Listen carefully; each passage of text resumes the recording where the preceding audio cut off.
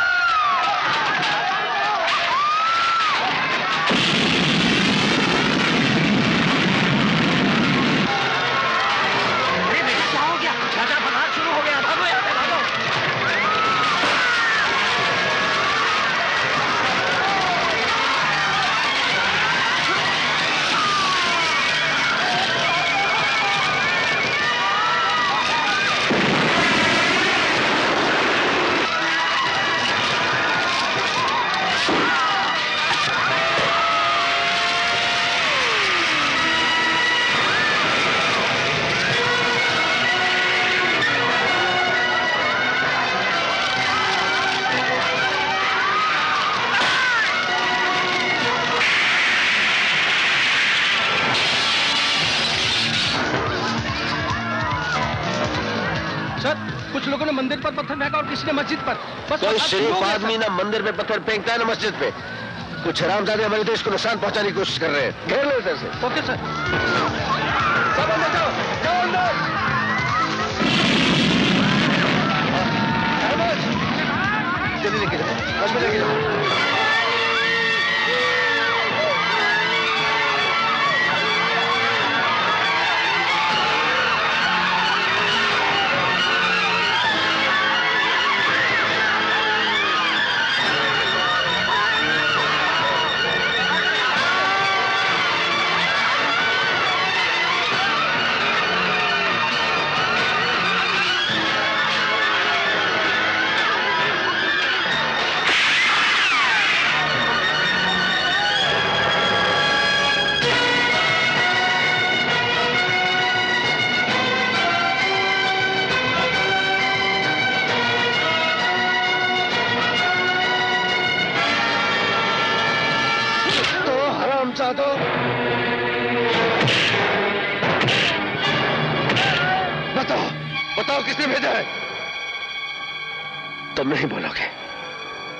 हरामजादों को बकवाना मुझे अच्छी तरह आता है।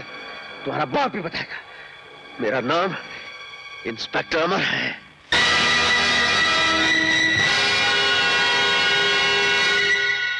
इस गुंडागर्दी के पीछे किसका हाथ है? जगन नहीं जगन्नाथ प्रसाद। इस जगन और गगन के नाथ ने हमें प्रसाद बनाकर इस दुनिया में भेजा है दुनिया वालों की सेवा करने के लिए। टूटे किसी का दिल तो तड़पते हैं हम गरीब। सारे जहाँ का दर्द हमारे जिगर में वैसे कुछ पार्टी का रंग जमा कि नहीं जमा भाई? बहुत बहुत जगन सेठ बहुत। आप तो अंधेरे से भी गुजर जाए तो वहाँ उजाला हो जाता है। और आपकी पार्टी में रंग न जमे ऐसा तो हो ही नहीं सकता है। जगन सेठ ये पार्टी किस खुशी में हो रही है?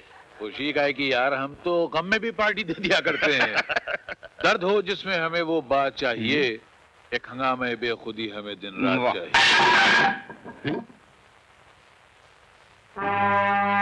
ये क्या बदतमीजी है? जिस शोरो गुल से तुम्हें प्यार है जगन्नाथ ये उसी प्यार का नमूना है।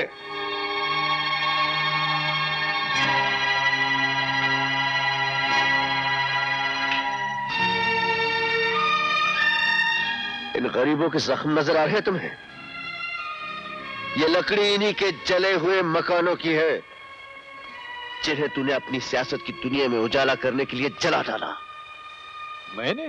आदमखोर खूनी दरिंदे भला बनने की कोशिश मत कर। चलो खुशी हुई ज़िंदगी में पहली बार किसी ने जगन सेठ के गिरेबान पे हाथ डालने की कोशिश तो की उसके सामने ऊँचा बोलने की हिम्मत तो की। मैं ऊँचा बोल ही नहीं रहा बल्कि तुझे इतनी ऊंचाई पे लटका दूँगा कि तू दोबारा अपने मनहूस कदम इस दुनिया में न रख सके। चल मेरे साथ। आप लोग पार्टी जारी रखिए हम अभी आते हैं।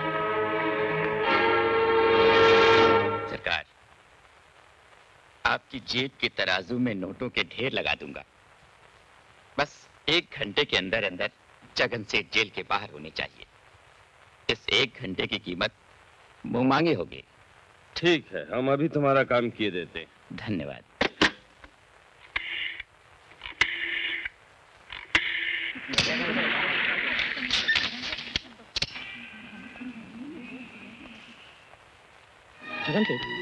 हाँ?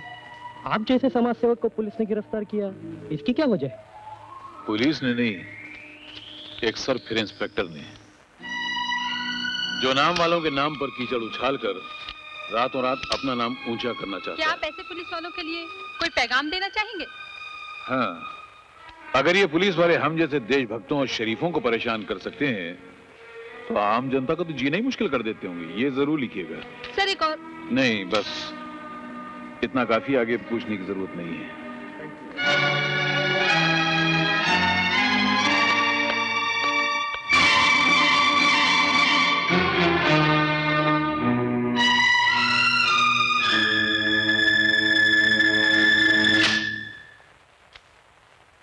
सर बड़ी मुश्किल से मैं जगन को गिरफ़्तार करके लाया था।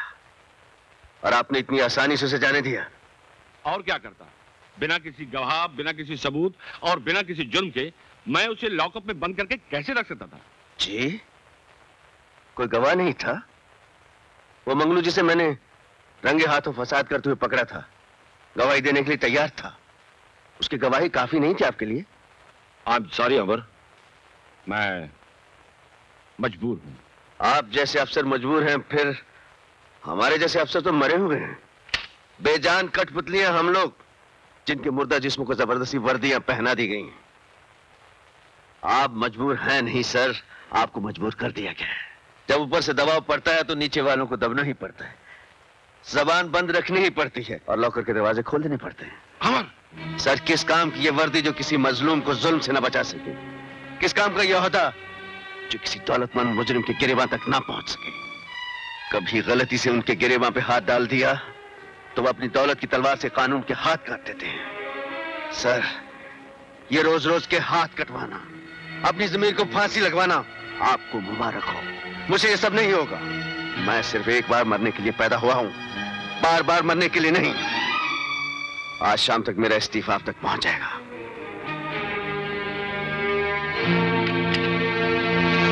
चलिए जगन भाई, आपका काम तो हो गया।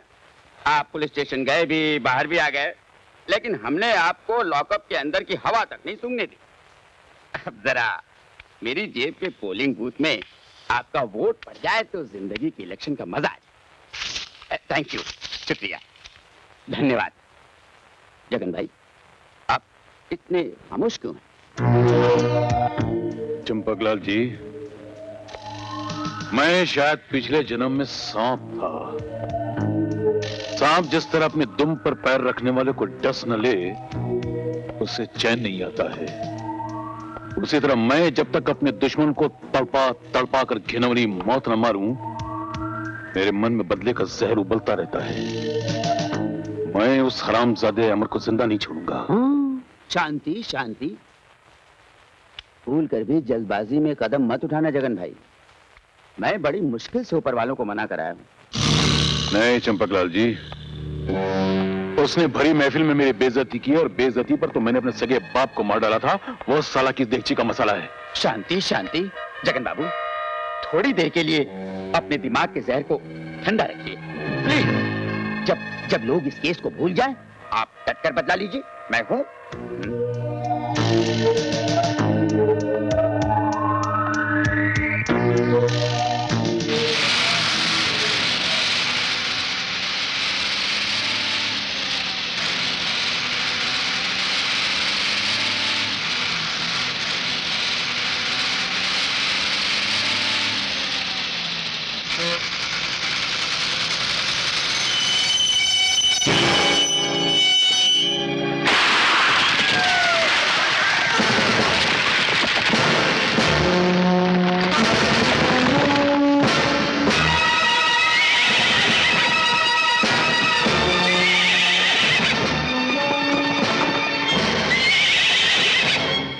ऐसा नहीं होने दूँगा। शेरा की धमकी के मुताबिक अगर उन 25 कैदियों को रिहा नहीं किया गया तो वो बस के तमाम मुसाफिरों को एक एक करके खत्म कर देगा। अगर हमने उन कैदियों को आज़ाद कर दिया तो वो खतरनाक मुजरिम न जाने कितने मासूमों के खून से ज़मीन को रंग देंगे। हमें जाने दीजिए। सुनिए मैं आप लोगों के जज्बात को समझता हूँ और ये भी जानता हूँ कि ऐसे मौके पर आप तो क्या दुनिया का कोई इंसान खामोश नहीं बैठ सकता। लेकिन आपने उन डाकुओं को पकड़ने के लिए अभी तक किया क्या है? आप लोगों के रिश्तेदारों को बचाने के लिए हम कोई कसर बाकी नहीं छोड़ेंगे। लेकिन हम आपकी झूठी तसलियों से चुप बैठने वाले नहीं है। चिल्लाने और शोर मचाने से कुछ नहीं होगा। मेरी आप सबसे दरख्वास्त है कि आप सब मिलकर हमारा साथ दीजिए। मैं वादा करता हूँ कि बहुत जल्द बस के मुसाफिरों को सही सलामत अपने अपने घर पहुँचा दिया जाएगा। शेरा ने ये ऐलान किया है कि अगर उसके 25 साथियों को रिहा न किया गया तो वो एक एक करके अगवा किए हुए सारे लोगों के टुकड़े टुकड़े करवा देगा। भाई वाह क्या धमकी है। सरकार को हिलाने का काम जो बड़े बड़े अपोजिशन लीडर नहीं कर सके शेरा ने कर दिखाया। यह प्लान अकेले शेरा का नहीं था इस नाचीज का भी था। ओ दिमाग की ताकत हमारी थी बाजू की ताकत शेरा की थी। जी हाँ जी वो तो है। हुजूर की अक्ल के कदमों पर तो बड़े बड़े पहाड़ तक सर झुकाते हैं। अब देखिएगा यह सरकार कागज़ की कश्ती की तरह कैसे डगमगा जाती है। यहाँ एक बच्चा या औरत मारी गई और वहाँ सरकार ने घबरा कर फ़ौरन उन 25 कैदियों को छोड़ दिया। पर जगन से आप उन 25 कैदियों का करेंगे क्या? हंगामे दंगे फसाद उन कैदियों को देश के कोने कोने में भेजेंगे फिर धर्म के नाम पर मज़हब के नाम पर सियासत के नाम पर इतने हंगामे कराएँगे कि ये सरकार हिल कर रह जाएगी।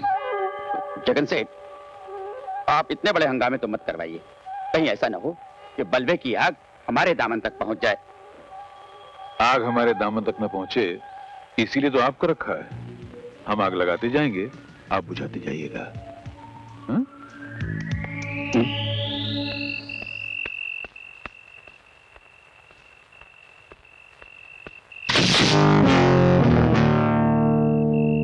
बहुत देर से मैं आपका इंतज़ार कर रही हूँ। आप मेरा इंतज़ार कर रही थी? कहिए क्या बात है? बैठिए बताती हूँ। बैठू? डरिए मत। मैं आपको कहीं भगा कर नहीं ले जाऊँगी। जी हम डरते तो कभी किसी से नहीं। लीजिए बैठ गए बताइए। जाना कहाँ है?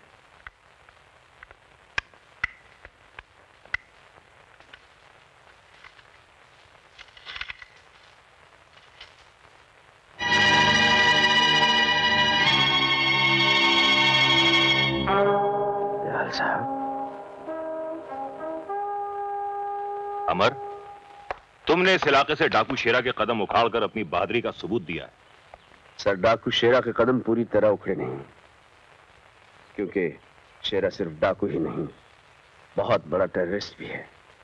और आप अच्छी तरह जानते हैं कि हर टेररिस्ट के पीछे किसी न किसी बड़े आदमी का हाथ ज़रूर होता है। और सबसे पहले मुझे उस आदमी के हाथ काटने तुम्हें किसी पर शक है? शक तो है सर लेकिन सबूत नहीं मिल रहा। कौन है वो? जगन सेठ। जगन सेठ? बहुत बड़ा दौलतमंद है ना? इसलिए उसने दौलत की चादर के नीचे अपने गुनाहों को दफन कर रखा है। मुझे उम्मीद है कि एक ना एक दिन तुम उसके खिलाफ सबूत ज़रूर ढूंढ निकालोगे। I need your good wishes sir. All the best thank you sir उसे कुचल के रख दो।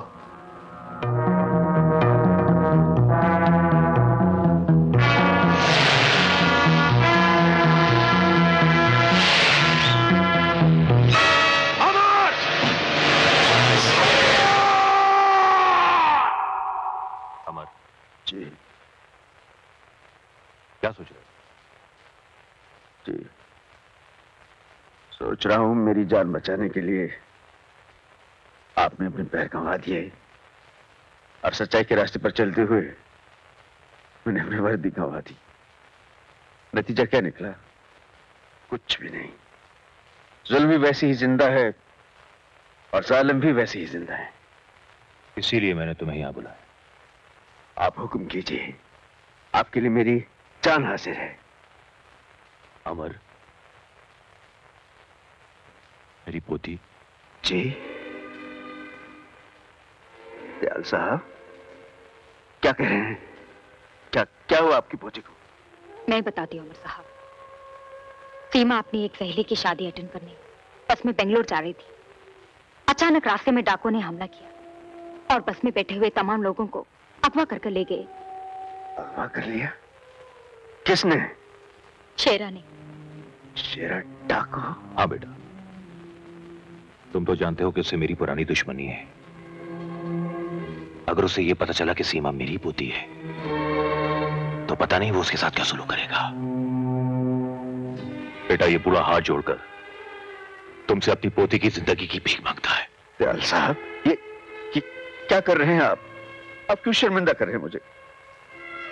आपने तो मुझे औलाद से भी ज़्यादा प्यार दिया है।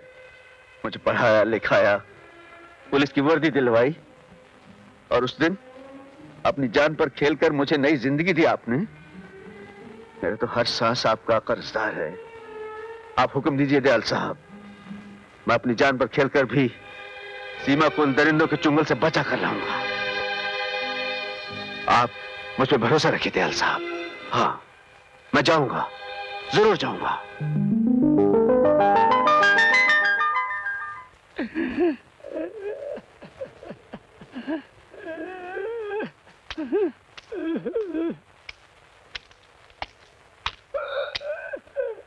क्या हुआ बाबा?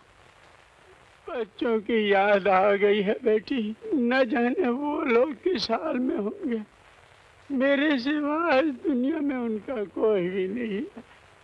कोई भी नहीं है कोई भी नहीं है। धीरज रखो बाबा सब ठीक हो जाएगा।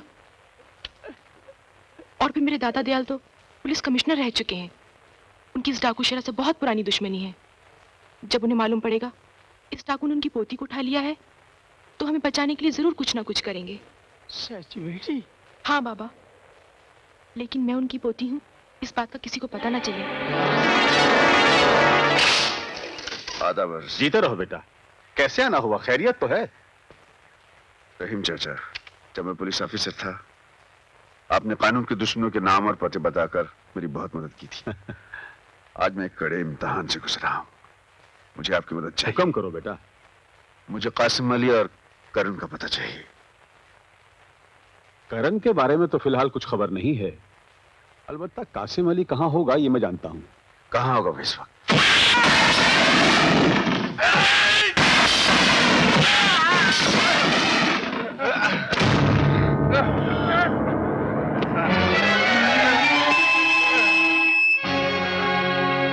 बे मुंगी लाल लल्लू चंद बेईमान चंद फकीर लाल मेरा नाम कासम अली, बरकत अली, शमशेर बहादुर नवाब तोपची है। जब मैं मिलिट्री में था तो इन हाथों से इतनी गोलियाँ चला चुका हूँ कि बंदूक से निकली हुई गोली अगर मेरे हाथों की पकड़ में आ जाए तो अंदर ही फड़फड़ा कर दम तोड़ देगी, साले बाहर नहीं निकलेगी। इसीलिए कहता हूँ कि दोबारा कभी भी कासम अली, बरकत अली के साथ चीटिंग करने की कोशिश मत करना। ना ही आस्तीन से पत्ते निकालने की कोशिश करना। वरना जब तू घर लौट कर जाएगा बेटा तो ना तेरे पास हाथ रहेगा और ना ही आस्तीन समझ गया? समझ गया। अब निकल ले लल्लू पतली गली से खंबा बचा के चल। बे चपड़ गंजू। चल। एक तीन सौ की चाल मेरी। एक तीन सौ मेरी भी। चाल का माल तो डाल बाप। हम्म। बड़ा बेभरोसे का आदमी है बे। साला मर जाएगा तो कफन नसीब नहीं होगा।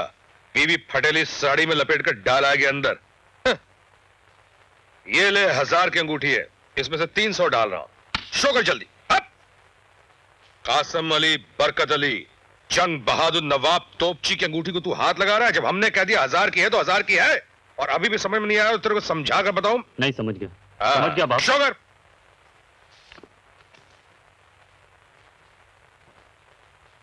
गुलाम बेगम बादशाह। हाँ, बहुत मारूँगा साले अगर हाथ लगाया तो। देखने दे पहले भूतनी के गुलाम बेगम बादशाह। हाँ, गुलाम बेगम बादशाह की औलाद क्या है भैया? इक्का बादशाह बेगम। हो गया मुकाला साला कासिम भाई की अंगूठी को हाथ लगा लिया था। अच्छा कासिम अली बरकत अली जंग बहादुर नवाब तोपची चलता है इधर से। खुदा हाफिज। चल बेटा हसन। अब तुझे तेरे अब्बू से कोई शिकायत नहीं रहेगी। बाप बेटा मिलकर जम के मौज मनाएँगे। कासिम भाई! भाई? अबे कौन है बे? कासिम। कासिम। कासिम भाई। अब ओए सांस क्यों फूल रही है? कासिम से भाई तक पहुँचने में दस मिनट का टाइम क्यों लगा रही है? जल्दी बोल बात क्या है? अच्छा कासिम भाई आप मुझे यहाँ मिल गए। मैं आपको घर से ढूंढता यहाँ आया क्यों बे मारना चाहता है क्या? खैरियत? खैरियत ही तो नहीं है भाई। आप तो जानते हैं जब भी मुझे पैसों की ज़रूरत पड़ती है मैं आपके पास चला आता अबे ओए कुछ मांगने आया क्या? बोल बात क्या है? हाँ। आज आज मुझे इनकार मत करना। मुझे बहुत ज़रूरत है कासिम अबे ओ उल्लू के पट्टे परसों जो तेरे को पैसे दिए उसका क्या हुआ? कासिम भाई वो बेटे की दवा पे खर्च हो गए थे।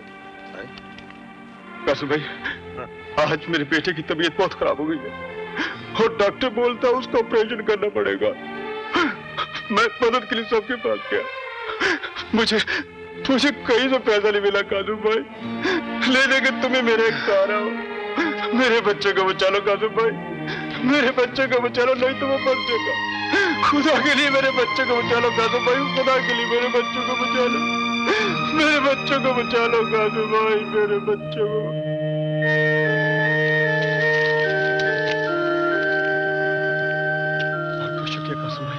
बहुत बहुत शुक्रिया कासिम भाई। बहुत बहुत शुक्रिया।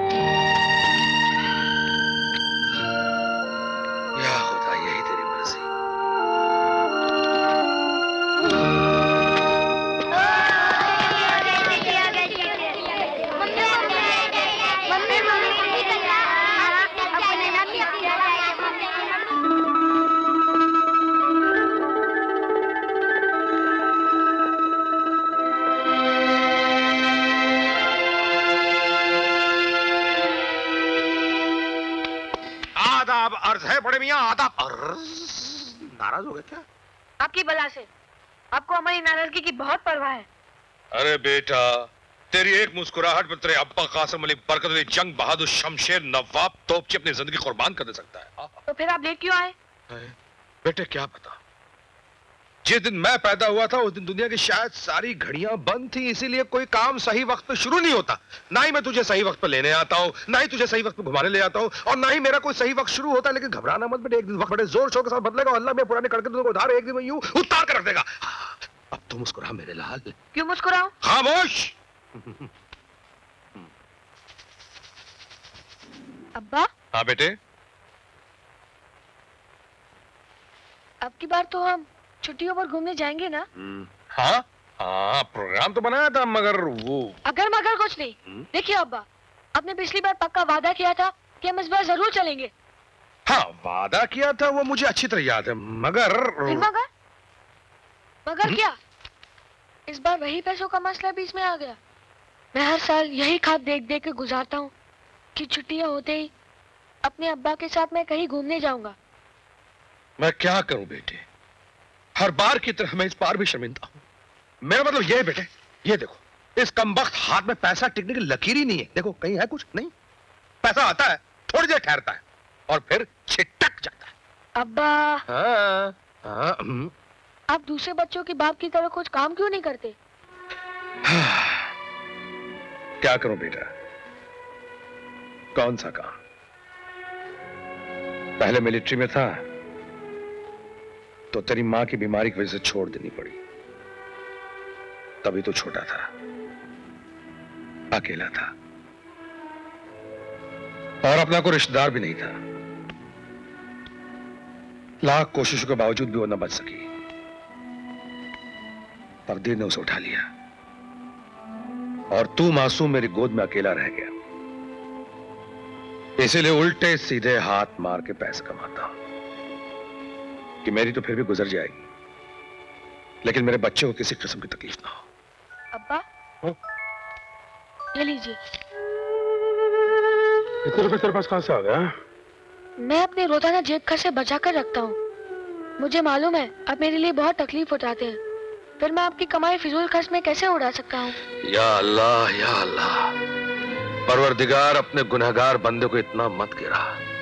उसे अपनी मासूम औलाद के आगे हाथ फैलाना पड़ा कौन आ गया भाई? बाप बेटे के बीच इस वक्त कौन आ गया? अभी देख लेता हूँ। कौन है बे? अब माफ़ करना इंस्पेक्टर साहब खुदा कसम मैंने कुछ नहीं किया। खुदा? अब तो आप इंस्पेक्टर रहे नहीं तो मैं खामों का काय को भी देख रही आऊँ? माफ़ करना मैं अपनी घबराहट वापस लेता हूँ हाँ? आधा बजे आधा आधा बजे अंकल। आधा है जनाब की तारीफ़? अजी जितनी की जाए कम है इसलिए कि मेरे साहबजादे हैं ना नवाब हसन अली शमशेर अली मोहम्मद अली गुलाम अली नजाकत अली कली मगर तोपची। हसन मियाँ स्कूल में पढ़ने जाते हो? वेरी गुड वेरी गुड आप एक काम करो। ये लो जाओ जाकर आइसक्रीम खाओ। जी शुक्रिया। आपको अब्बा से बात करनी है मैं वैसे ही चला जाता हूँ। तो बड़ा खुददार है।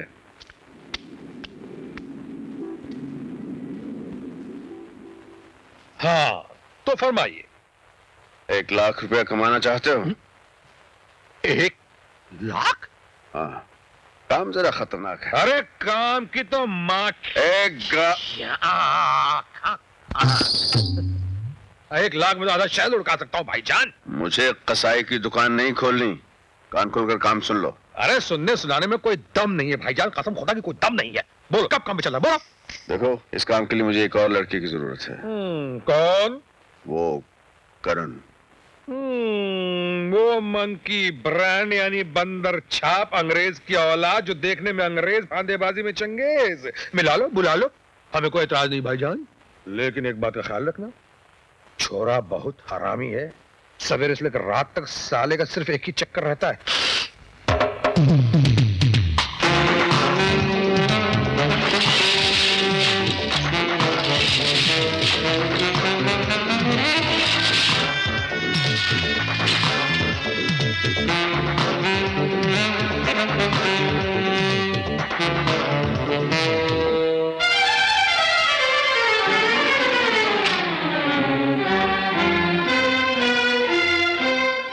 मीना पैकेट लाए हो? हाँ। तो जल्दी दो ना। दे रहा हूँ मिस मीना। दे रहा हूँ।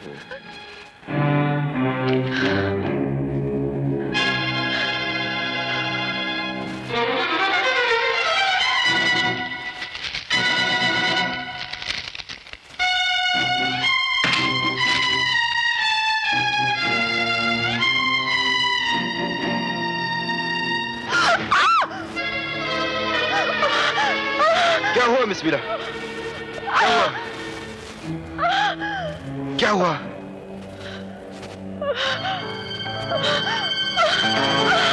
मिस क्या हुआ?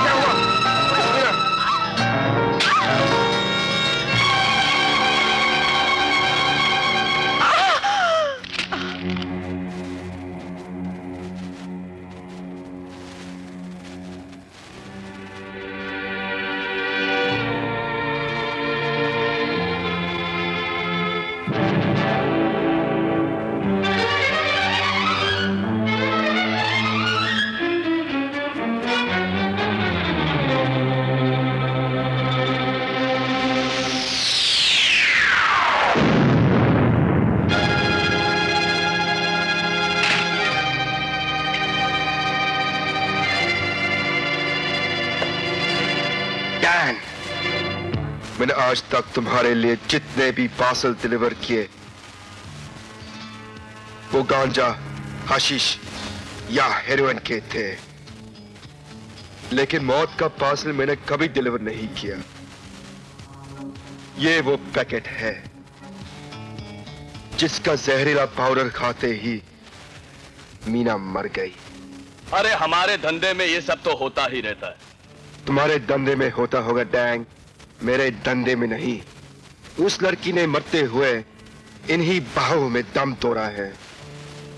और अब मैं उसी तरह तुम्हें तरपते हुए देखना चाहता हूँ।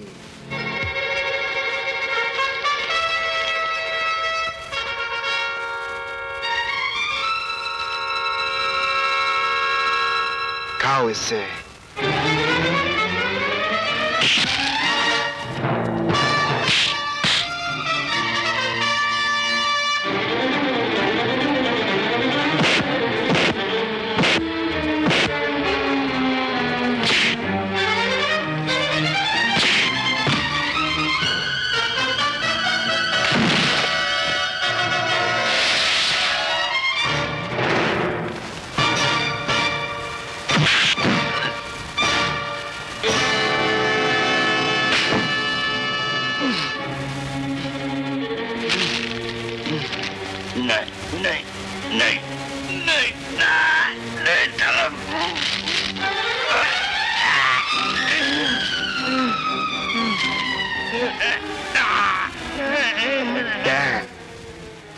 सिर्फ़ दस मिनट तक ज़िंदा रह सकते हो। और यहाँ से हॉस्पिटल का रास्ता पाँच मिनट का है। अपने आप को बचा सकते हो तो बचा लो।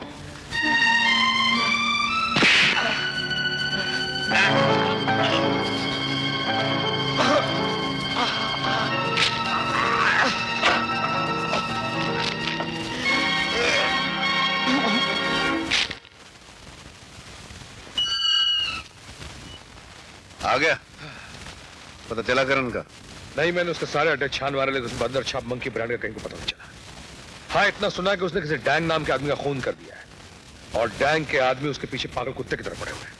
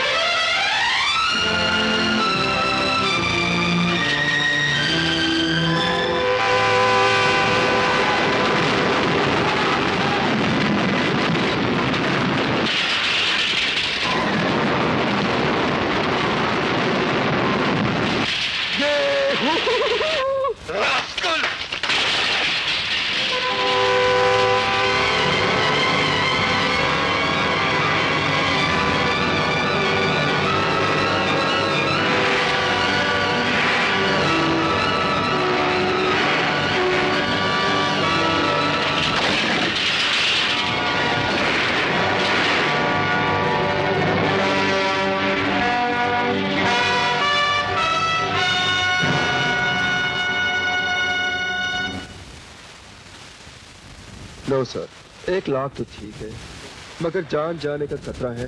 क्योंकि सुना है, डाकू शेर के दिल में जाते हुए यमराज को डर लगता है। तो अपन क्या है? सॉरी और कोई काम पड़े तो बुला लेना।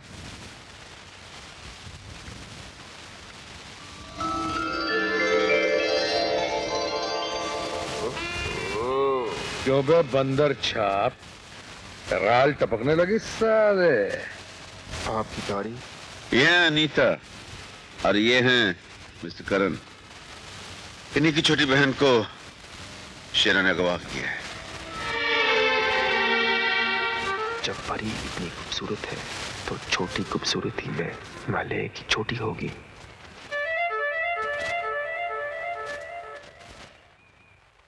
मैं सोच रहा था कि आप बड़े हैं और इतनी विनती कर रहे हैं।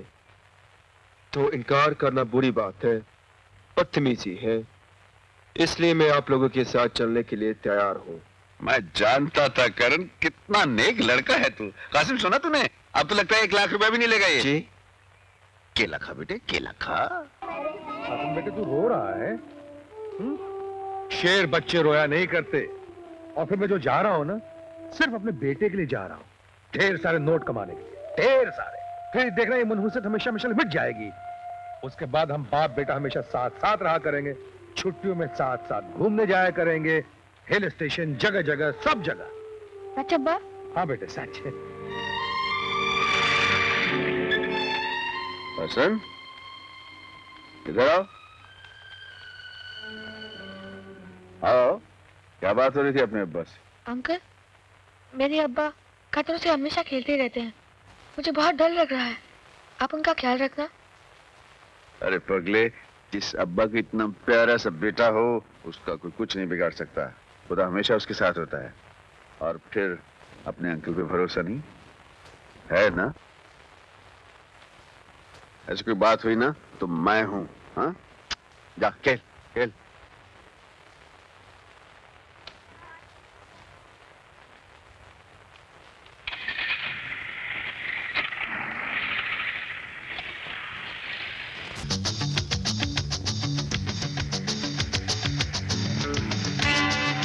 भाईजान बड़ी भूख लगी है, चल के किसी ढाबे पे खाना खाते हैं। अरे वो रहा सामने फगवाड़े का ढाबा। अरे पापा जी का ढाबा। शाबाश। हाँ देखो, मोटा गहना खाना खा रहा है, क्यों भाई मोटे?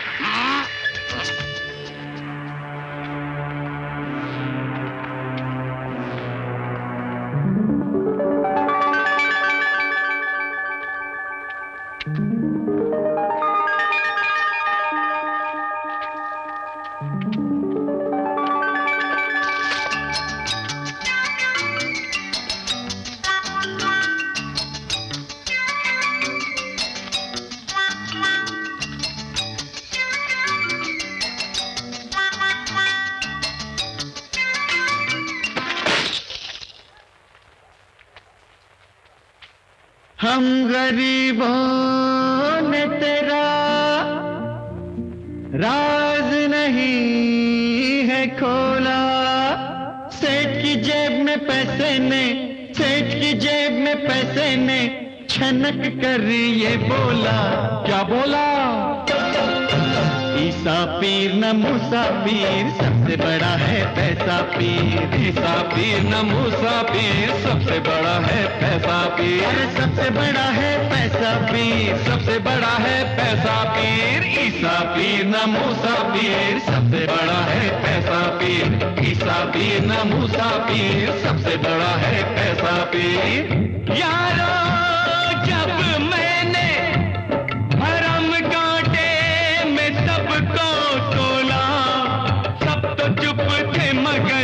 चुप थे मगर दिल ने तड़प कर बोला, क्या बोला?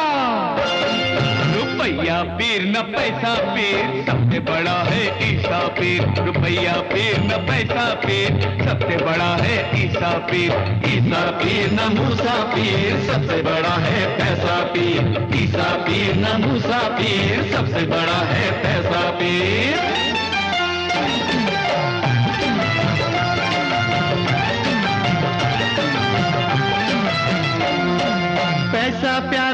पंडित जी को पैसा प्यारा मुल्ला को। पैसा प्यारा पंडित जी को पैसा प्यारा मुल्ला को। अरे पैसा दे करने की खरीदो दान है प्यारा अल्लाह को।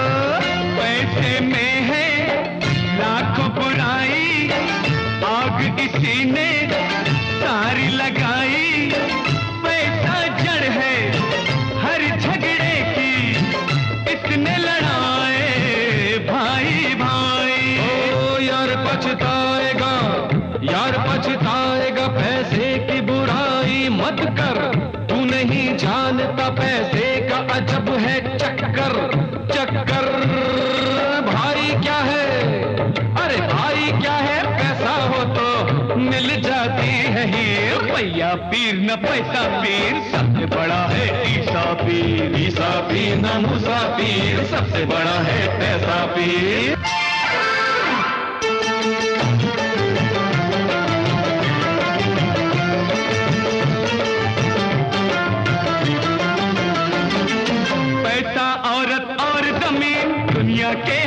दुश्मन तीन।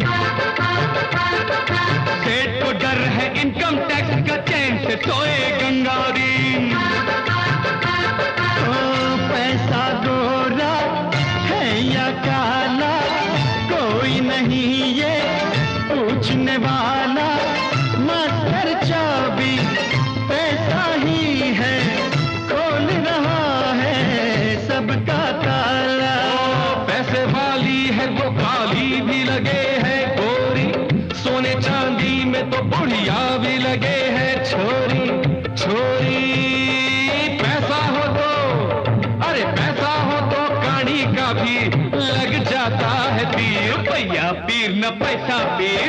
सबसे बड़ा है ईसा पीर। ईसा पीर न मूसा पीर, सबसे बड़ा है पैसा पीर।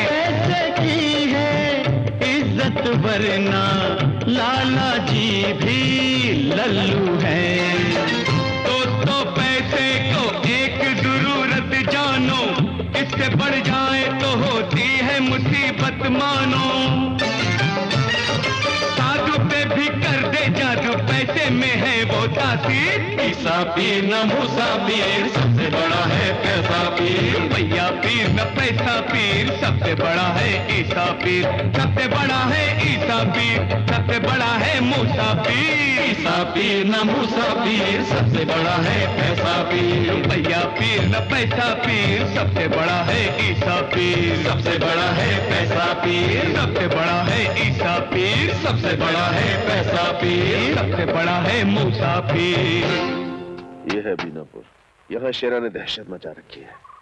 अब कैसे भी शेरा को ढूंढना है। यानी भूतनी वाले डाकू का इलाका शुरू हो गया। बिल्कुल शुरू हो गया। हम्म। अब तुम दोनों आँख को दूरबीन और कान को ट्रांसमीटर बना लो। बी अलर्ट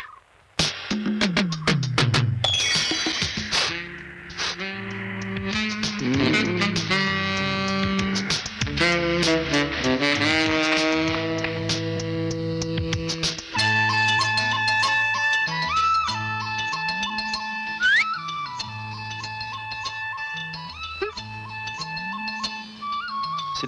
चटका मारा तमाचा नहीं मारा। मतलब चांस है। सुनिए। क्या है? आपका नाम? तुमसे मतलब? मतलब मैं यहाँ एक फ़िल्म बनाने आया हूँ जिसके लिए मुझे एक कलेजा फाड़ू हीरोइन की ज़रूरत है। मेरी फ़िल्म में काम करोगी? सच? तुम फ़िल्म बना रहे हो? हाँ इश्क पे मोहब्बत पर। कहानी तुम्हारे ऊपर शुरू होती है और तुम्हारे ऊपर ही खत्म हो जाती है।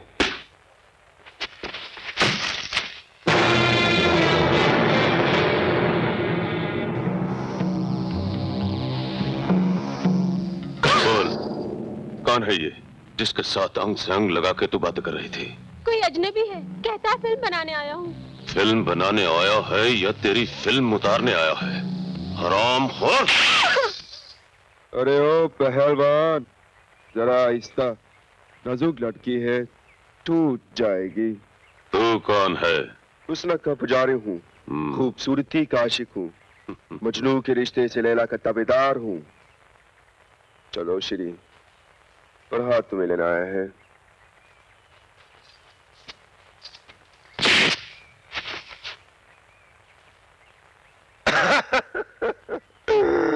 चल मेरी लायला अपने मजनू के साथ। ले लो ले लो थैंक यू रिटेर यार।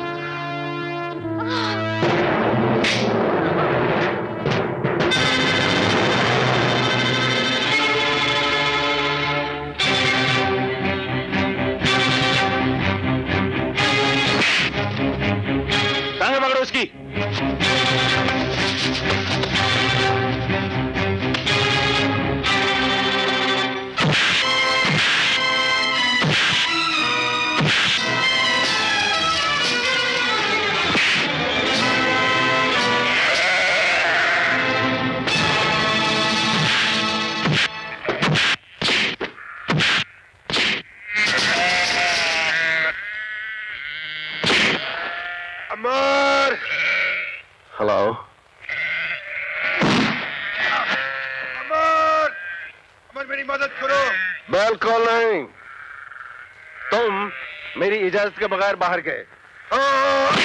लौंडिया का पीछा किया। अरे क्या यार बात तो करने दे। जब तुमने गुड़ खाया है जी भर के तो बेटे जरा अचार का मज़ा भी सॉरी ले लो।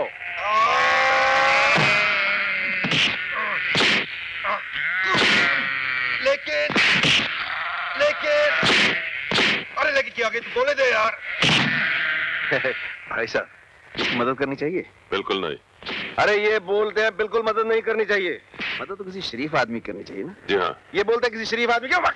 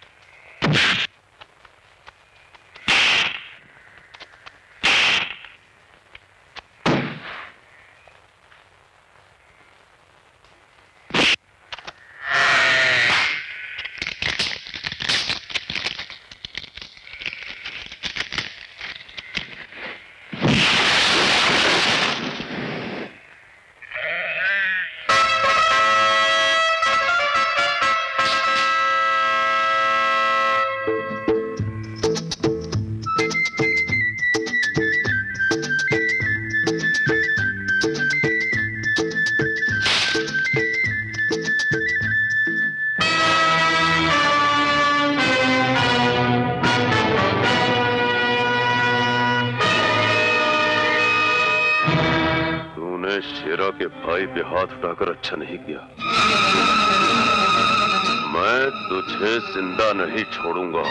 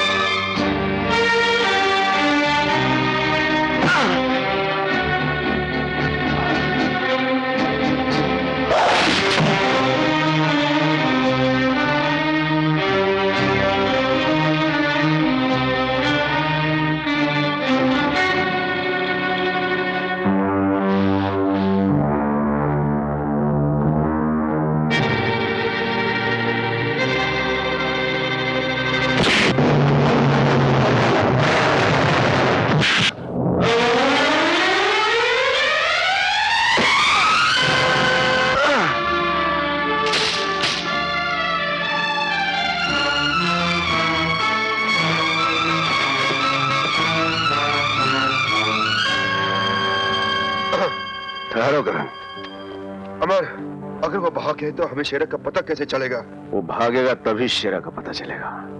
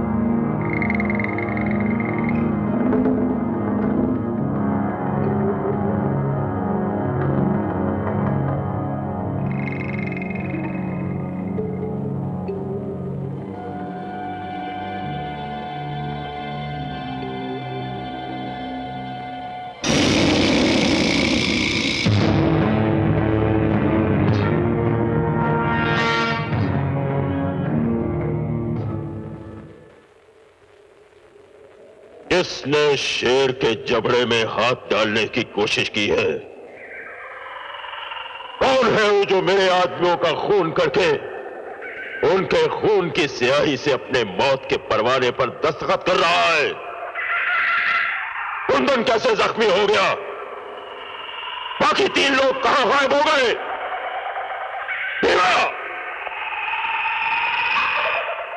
जी, सरदार। शेरा की शहनशाहियत में खून बहाने का हक सिर्फ़ शेरा को है। फिर यह खून बहाने की हिम्मत किसने की? पता नहीं सरदार। कुंदन कुंदन जवाब दो किसने तुम्हें जख्मी किया? ज़ुबान खोलो। बोलो कुंदन। इसके जख्म को देखो।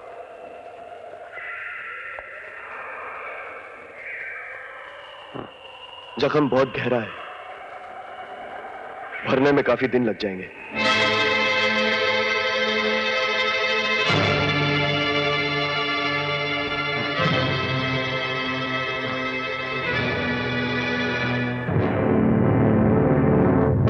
सरदार, ये ये तो आपका भाई है।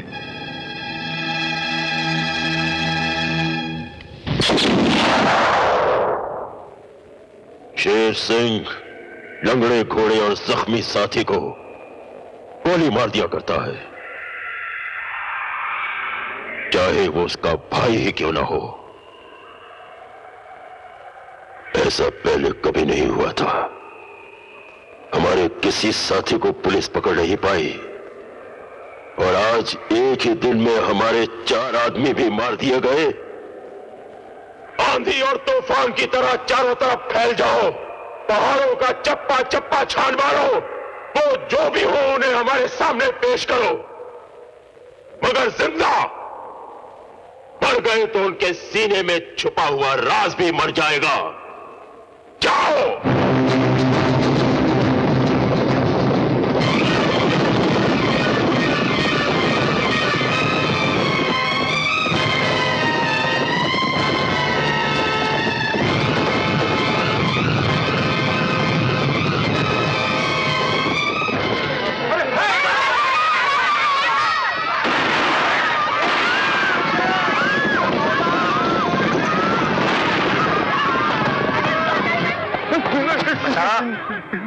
कहा है तीनों? मुझे नहीं मालूम। मुझे नहीं मालूम।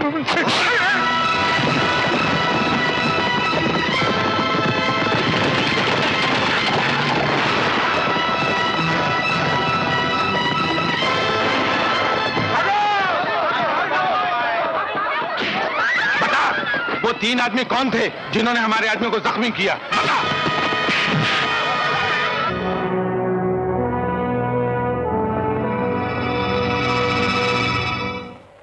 सामने की पहाड़ी पे शेरा काटता है जिसके चारों तरफ़ उसके आदमियों का सख्त पैरा है। अगर हम सामने के रास्ते से गए तो उसके आदमी हमें गोलियों से भून के रख देंगे इसलिए कि उनके पास लेटेस्ट हथियार है। इसका मतलब है शेरा की पीठ पर देशद्रोहियों का हाथ है। अब क्या करेंगे? देखो जहाँ जिस्म की ताकत कम पड़ती नज़र आए वहाँ दिमाग इस्तेमाल करना चाहिए। सुनो कासिम करण तुम भी सुनो। हमें कोई और दूसरा रास्ता ढूंढना होगा। चलो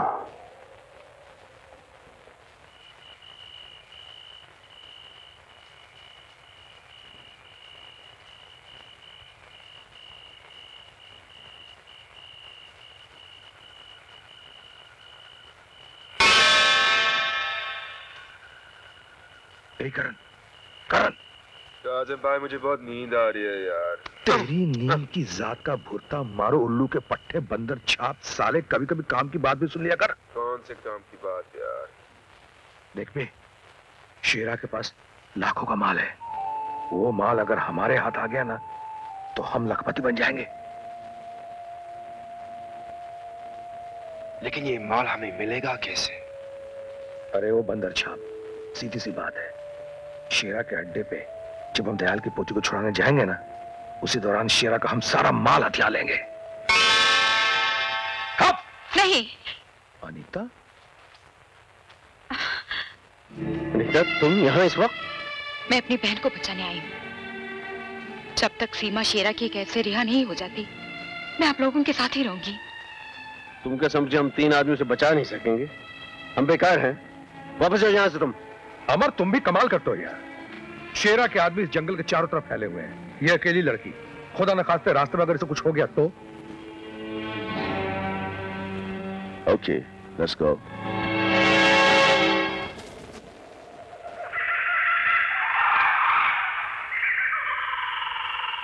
भीमा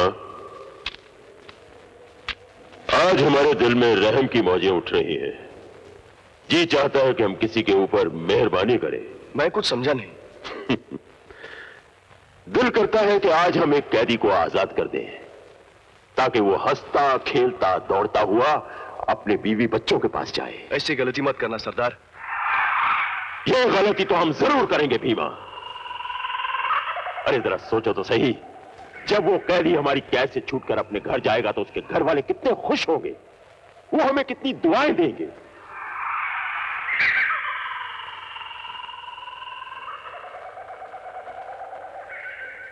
तुम में सबसे बूढ़ा कौन है भाई? डरो मत। आज शेरा मेहरबानी की मौज में है। बोलो कौन है तुम में सबसे बूढ़ा? आज हम उसे आज़ाद करके घर भेजना चाहते हैं। बोलो। मैं बूढ़ा मैं बूढ़ा हूँ मैं बूढ़ा हूँ ये मैं बूढ़ा हूँ बोलता है मैं बूढ़ा हूँ सरकार मैं बूढ़ा हूँ। नहीं, झूठ ना बोलो मैं बूढ़ा हूँ। मैं सबसे ज़्यादा बूढ़ा अरे भाई भीमा तुम ही फैसला करो कि दोनों में से कौन बूढ़ा है।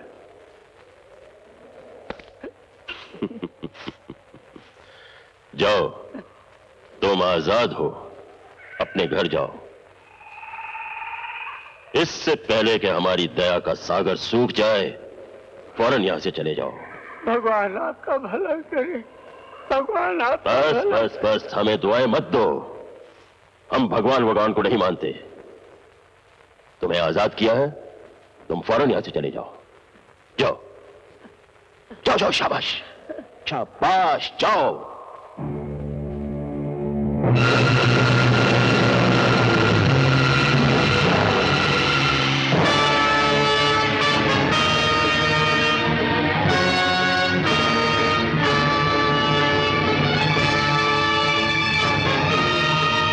भीमा? जी सरदार। बूढ़ा कितनी दूर पहुँच गया होगा? करीब करीब पौना मील तो पहुँच गया होगा सरदार। हम्म। हमारी नई वाली लाओ।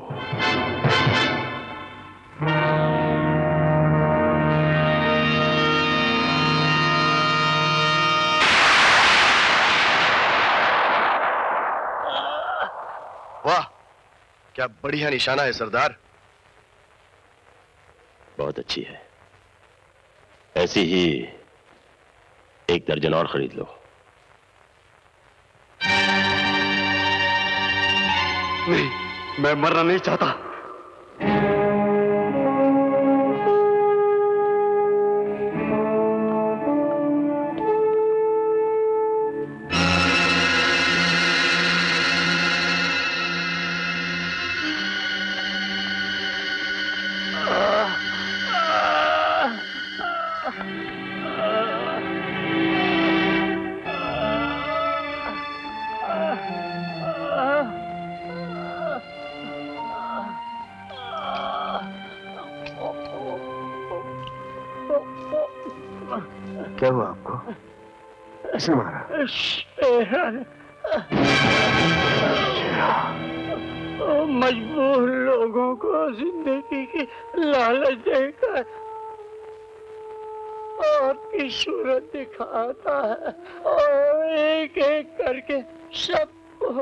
डालेगा। सबको मार,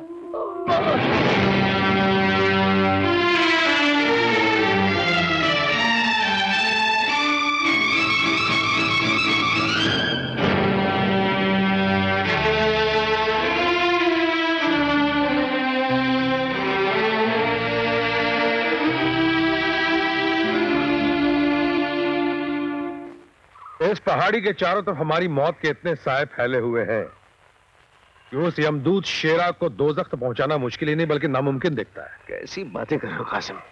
ये बुजदिल कब से हो गए तुम? हम तूफ़ान से टकराने वाली वो मौजें हैं जिन्होंने ना जाने कितनी चट्टाने ढेर कर दी। अब जब मंजिल करीब है तुम लौट जाने की बात कर रहे हो। नहीं ऐसी बात नहीं है। लेकिन यहाँ चारों तरफ़ मौत का बारूद फैला हुआ है।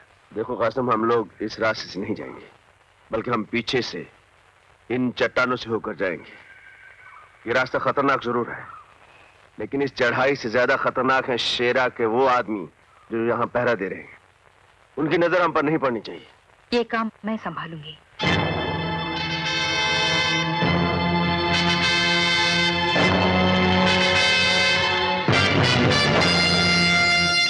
नहीं नहीं था। इसमें जान जाने का डर है इसलिए इतना बड़ा रिस्क तुम्हें नहीं लेने दूँगा। आप बेफिक्र रहिए। मुझे कुछ नहीं होगा। और sure sure best of luck thank you Anita कहते हैं इंसान जब शैतानों के बीच गिर जाता है तो ऊपर वाला इंसान का साथ देता है। कोई मुश्किल आन पड़े तो ऊपर वाले को याद कर लेना। वो तुम्हारी हर मुश्किल आसान कर देगा। अपना ख्याल रखना।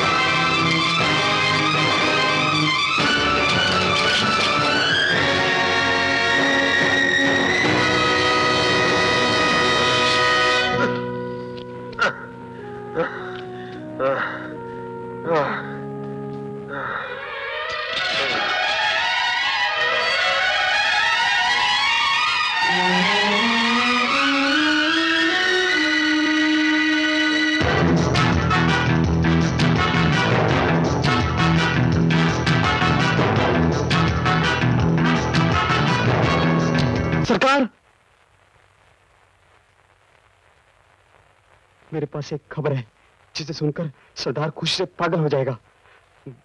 मगर मेरी एक शर्त है। कैसी शर्त? तुम्हें मुझको छोड़ना पड़ेगा।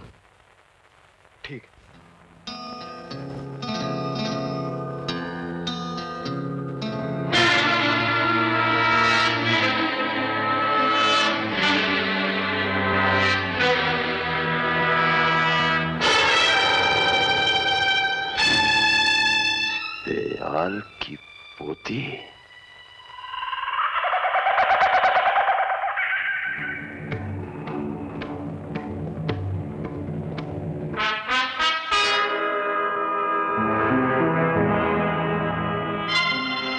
हमारे खेमे में ले आओ।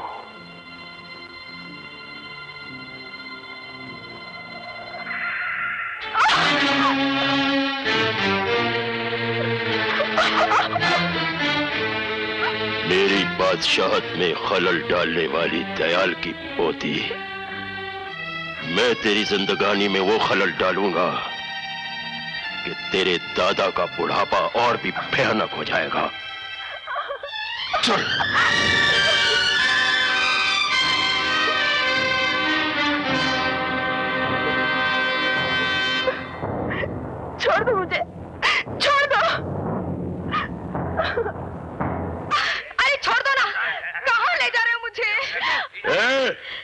क्या शोर बजा रखा है।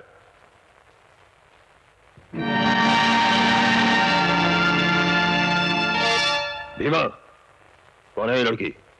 सरकार अरे छोड़ना सरकार मैं बंजारन हूँ। वो वहाँ से चलते हुए जा रही थी और आपके आदमी मुझे पकड़ के ले आए? क्या करती हो? हुजूर नाच गाकर लोगों का दिल बहलाना मेरा पेशा है। सरदार हम लोगों का भी दिल बहले। कई महीनों हो गए। ठीक है। इस बंजारन के साथ हमारे दुश्मन दयाल की पोती भी नाचेगी।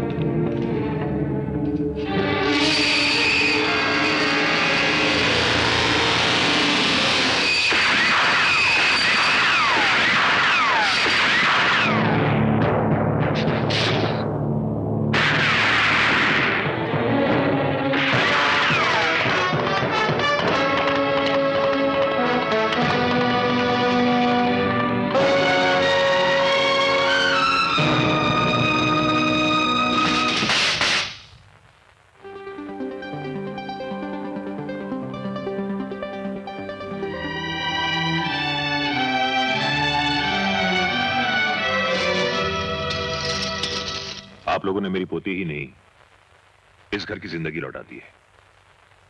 एक ऐसा एहसान किया है मुझ पर जिसका बदला मैं अपनी जान देकर भी नहीं चुका सकता। ये लीजिए वादे के मुताबिक एक एक लाख रुपए। Monkey brand follow me Amar. Dayal साहब आपने ज़िंदगी भर मुझ पे एहसान किए हैं। अगर आज मैं आपके किसी काम आ गया उसके हिफ्स में आप मुझे रुपए दे रहे हैं। शर्मिंदा मत कीजिए।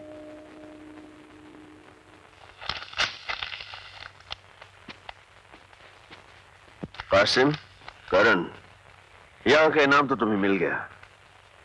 वो माल मुझे वापस कर दो जो तुम लोगों ने शेरा के वहाँ से लूटा है। शेरा का माल? वो जो तुम लोगों ने बैग में भर रखा है। देखो भाई अमर माल को हासिल करने के लिए गोलियों की बारिश सिर्फ़ हमने झेली।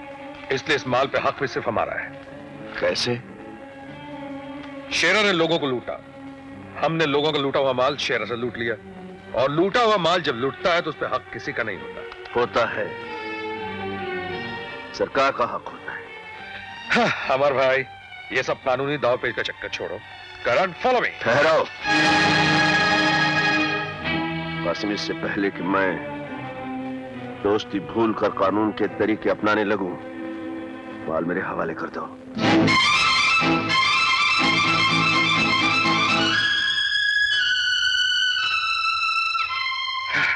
माल अगर तुम्हारे हवाले ना करूँ तो?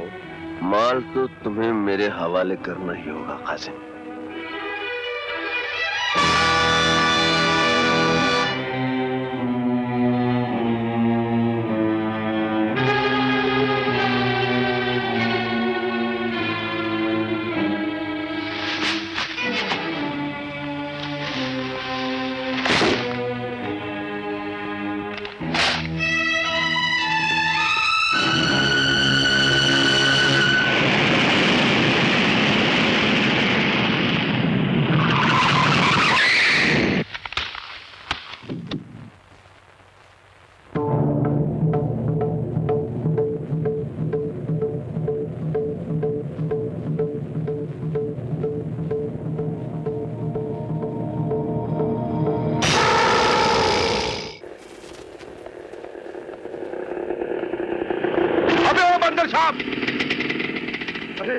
कासम भाई ये सामान की बारत लिए कहाँ जा रहे हो? अबे ओ कासम भाई की औलाद ये सारा सामान मेरे बेटे हसन के लिए है।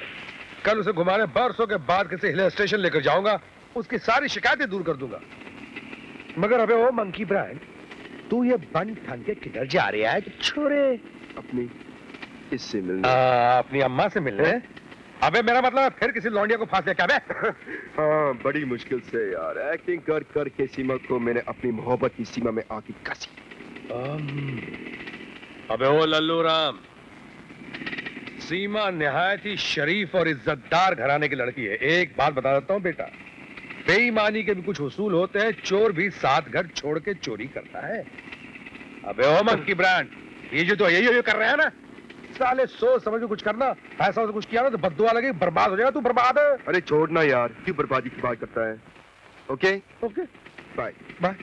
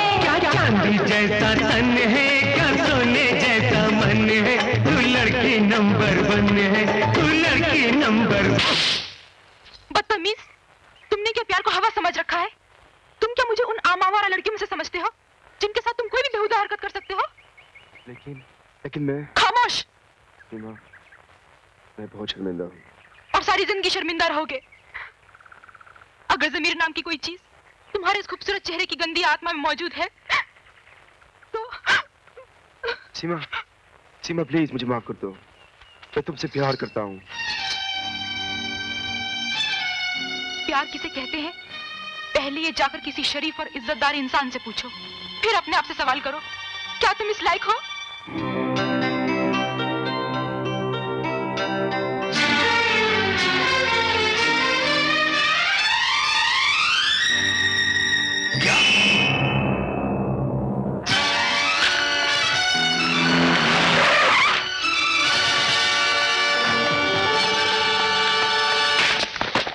हुआ मेरे बेटा हसन को। कहा मेरे बेटा प्रिंसिपल साहब? जी वो सुबह मैदान में बच्चों के साथ खेल रहा था और उसके बाद उसका कुछ पता नहीं चला। बच्चा स्कूल के मैदान से गायब हो गया और आपको पता ही नहीं चला। प्रिंसिपल साहब ये क्या कह रहे हैं आप? क्या यही इंतज़ाम है आपके स्कूल का? हेलो। जी हाँ है। आपका फ़ोन है। मेरा फ़ोन? हेलो? हेलो कासिम। तुम्हारा बेटा हसन इस वक्त हमारे पास है। मेरा बेटा तुम्हारे पास है? हाँ। कौन बोल रहे हो तुम?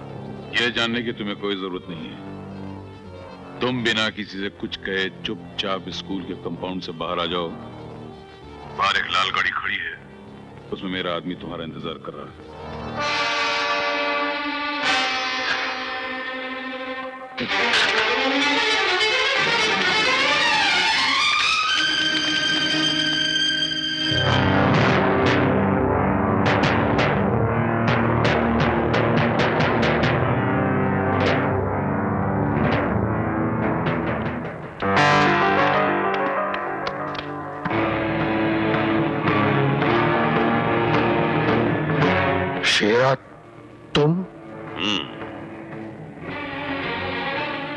समझे थे कि शेरा मर गया। अरे, शेरा ने पैदा होने से पहले ही अपनी मौत को मार दिया था और फिर इस दुनिया में जन्म लिया था। मेरा बेटा कहाँ है? हिफाजत से है। देखना चाहोगे?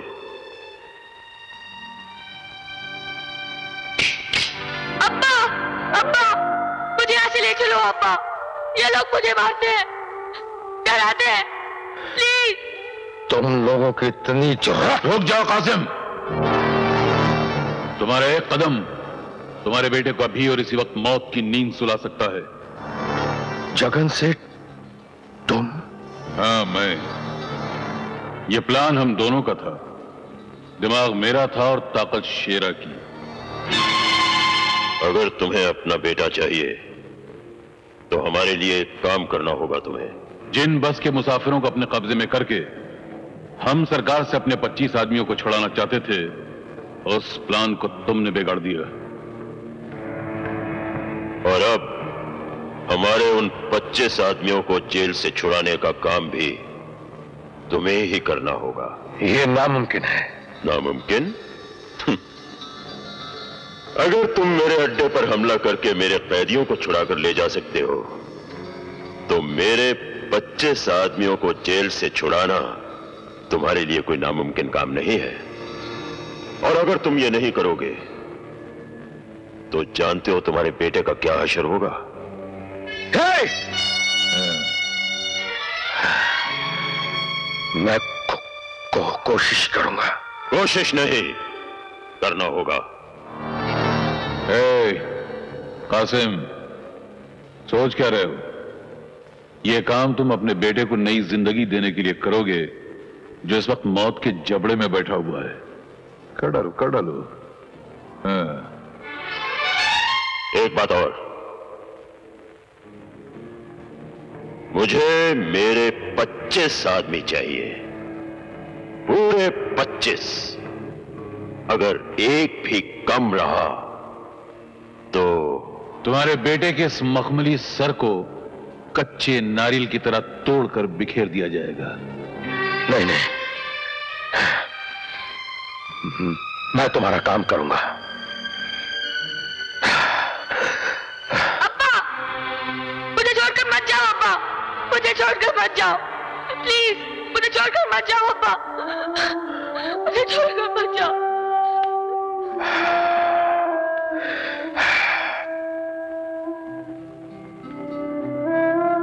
हसन।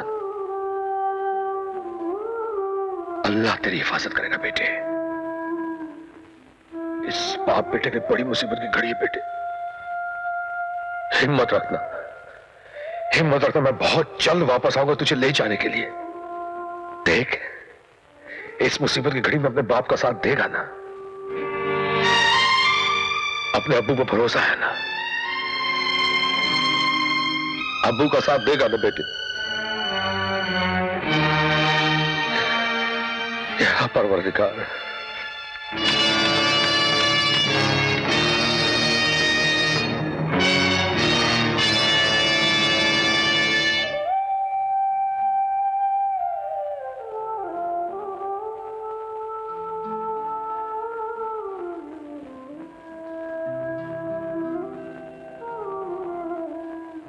कासिम भाई सीमा के बारे में आपने ठीक ही कहा था। आज मैंने एक फैसला कर लिया है। जीऊँगा तो इज़्ज़त वालों की तरह और शादी करूँगा तो सिर्फ़ सीमा के साथ। घर बसा लेना दोस्त लेकिन औलाद को कभी जन्म मत देना। इंसान हर दर्द बर्दाश्त कर सकता है लेकिन औलाद की जुदाई का गम एक पल के लिए भी बर्दाश्त नहीं कर सकता। हाँ, दूसरे दर्द तो जिस्म जख्मी करते हैं। लेकिन औलाद की जुदाई का गम खंजर बनकर रूह को टुकड़े टुकड़े कर डालता है। क्या बात है कासिम भाई? तुमको मेरी कसम कासिम भाई। बात क्या है? मेरा बेटा हसन। क्या हुआ हसन को? शेर और जगन सेठ ने उसे अगुआ कर लिया है। क्या? उनका कहना है कि मैं जेल से उनके 25 कैदियों को आज़ाद करवाऊं क्योंकि हम लोगों ने उनकी कैद से अगवा किए हुए लोगों को रिहा करवाया था। ये लोग मुझे उसकी सजा दे रहे हैं। कासिम भाई इस काम के लिए मैं भी तुम्हारे साथ हूँ। करण ही नहीं मैं भी तुम्हारे साथ हूँ। रिश्ते सिर्फ़ खून के नहीं इंसानियत के भी होते हैं।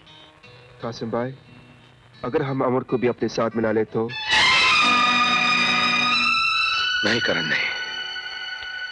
अमर ने कानून की वर्दी भले ही उतार दी है, लेकिन वो अभी तक कानून का पुजारी है। और जो काम हम करने जा रहे हैं, वो गैर कानूनी है। और अमर हर गैर कानूनी काम का दुश्मन है। इसलिए उसे इस बात की खबर तक नहीं होनी चाहिए। मुबारक हो शेरा। कासिम ने हमारे काम के लिए अपने साथ करण को भी शामिल कर लिया। एक बार हमारे आदमी जेल से रहा हो जाए फिर मैं कानून से गिन गिन के बदले लूँगा। डकैतियाँ लूटमार आतंक लीडरों के दिन दहाड़े कत्ल ये तो तुम करोगे शेरा। लेकिन इस देश की शांति का जिस तरह मैं जनाजा निकालूँगा उसको एक वक्त इंसान तो क्या ऊपर वाला भी!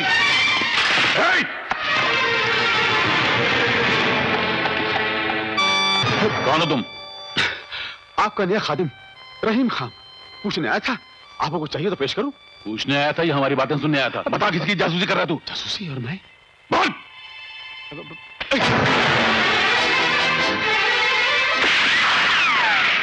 पीछा कर उसका भागने ना पाए। जाओ।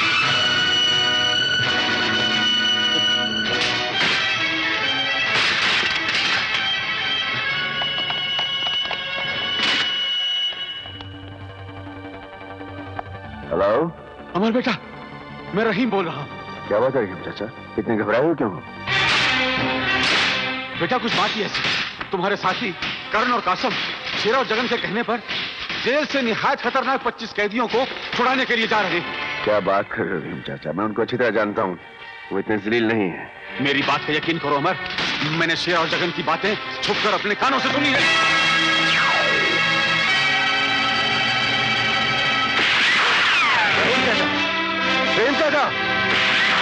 रहीम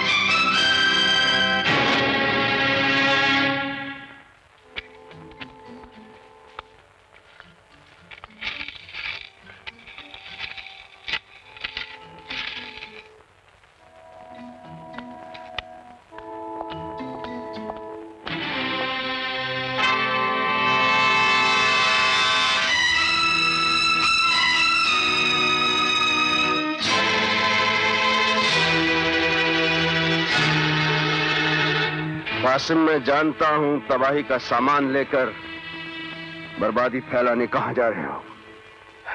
बर्बादी फैलाने नहीं। अपनी तकदीर में लिखी बर्बादी मिटाने जा रहा हूँ। बर्बादी को मिटाने या नोट कमाने या अल्लाह। तुम्हारा अल्लाह भगवान गॉड सभी हरे हरे नोट हैं। जिनके लिए तुम अपना ईमान तक बेच सकते हो। लेकिन आज मैं तुम दोनों को यह गुनाह नहीं करने दूँगा। हमें जाने दो दोस्त। खुदा का वास्ता जाने दो। कासिम दोस्त तू इसीलिए रोकने आया हूँ। अगर मैं तुम्हारा दोस्त ना होता तो आज जिस काम के लिए तुम जा रहे हो मेरे एक इशारे पर पुलिस की हथकड़ियाँ आकर तुम्हें रोक देती। आज कोई फांसी का फंदा भी लेकर आता तो हमें नहीं रोक पाता। चलो करण। खबरदार जो एक कदम भी आगे बढ़ाया। चंद सिक्कों की खातिर मैं तुम्हें देश से गद्दारी नहीं करने दूँगा। हट जाओ मेरे रास्ते से अमर। कहीं मेरे गुस्से की आग तेरे चिता की आग में न बदल जाए।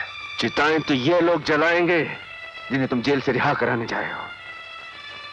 न जाने कितने मासूम लोग मारे जाएँगे। इन लोगों को जेल से छुड़ाकर आज तुम इंसानियत का गला घोंटने जा रहे हो कासिम। आज मुझे कोई नहीं रोक सकता अमर। आज मैं हर दीवार तोड़कर निकल जाऊँगा। Thank you.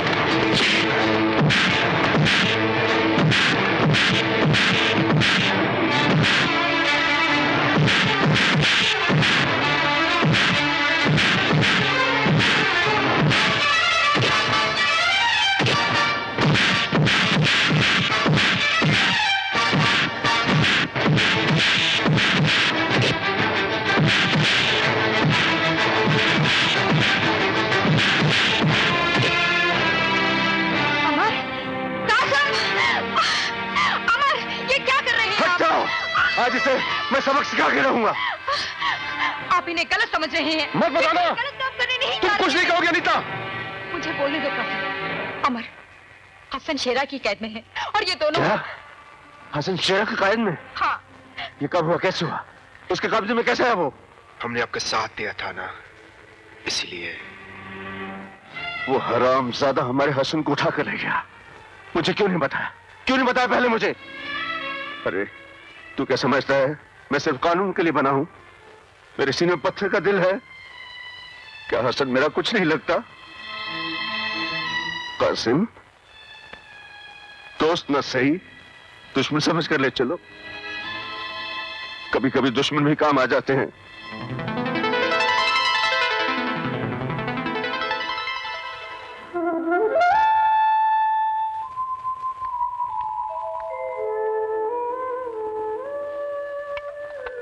बेटे उठो बेटे खाना खा लो। खा लो बेटे।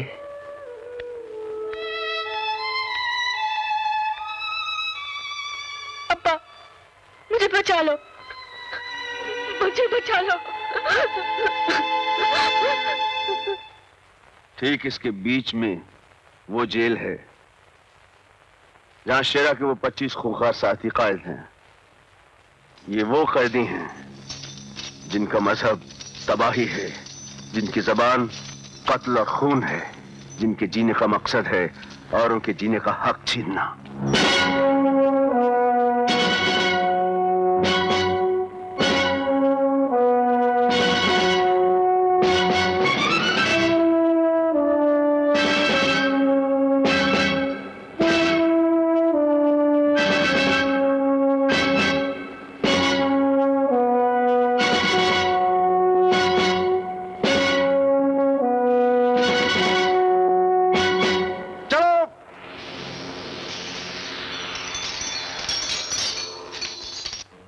वो जगह जहाँ वो शेरा के 25 साथी दूसरे बहुत से कैदियों के साथ काम करने के लिए आते हैं। दरअसल ये तीन ग्रुप में बटे हुए आते हैं। उनमें से एक 25 का जो ग्रुप है, वो शेरा के आदमी है। ये वो पहला ग्रुप है, जो रोज़ाना इसी तरह पुलिस की निगरानी में बंदूकों की नोक पर इस किनारे से उस किनारे तक पहुँचाया जाता है। जब तक पहला ग्रुप दूसरे किनारे तक पहुँच नहीं जाता दूसरा ग्रुप इसी किनारे इंतज़ार करता है। इसी तरह दूसरे ग्रुप के पुल पार करने के बाद इस तीसरे ग्रुप को लाया जाता है।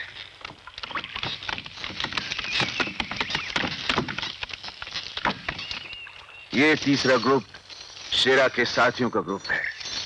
काम खत्म होने के बाद इसी तरह अलग अलग ग्रुप में इन कैदियों को इस पुल से वापस ले जाया जाता है। जैसे ही ये तीसरा ग्रुप इस पुल पर से गुजरने के लिए बिल्कुल तैयार होगा, ठीक उसी वक्त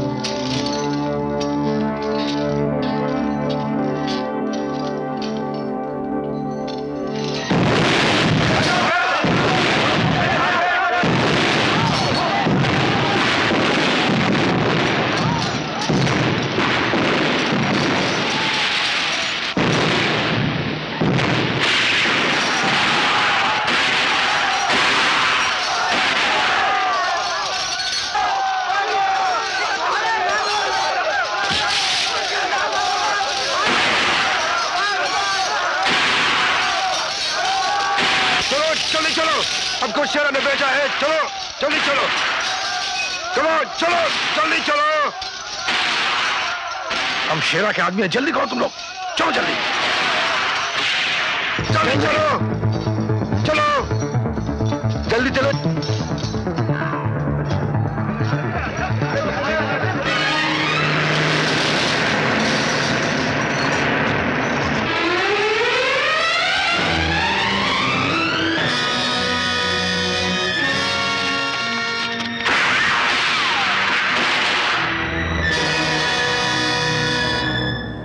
शेरा कासिम अमर और करण ने हमारे 25 आदमी को आज़ाद करा लिया ये हुई ना बात। अब जरा कानून वालों से पंजा लड़ाने का मज़ा आएगा। ये सारे पुलिस डिपार्टमेंट के लिए डूब मरने की बात है। इतना सख्त पैरा होने के बावजूद तीन अजनबी आए और बड़े आराम से 25 कैदियों को निकाल कर ले गए। शर्म आनी चाहिए। मुझे वो 25 कैदी किसी भी हालत में जेल में वापस चाहिए। अंडरस्टैंड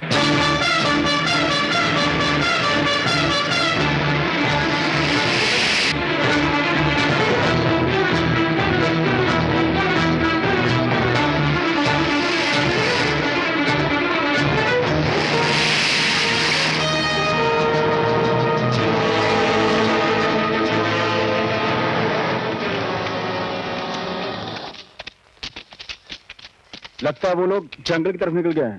तुम लोग कुत्तों का इंतज़ाम करो।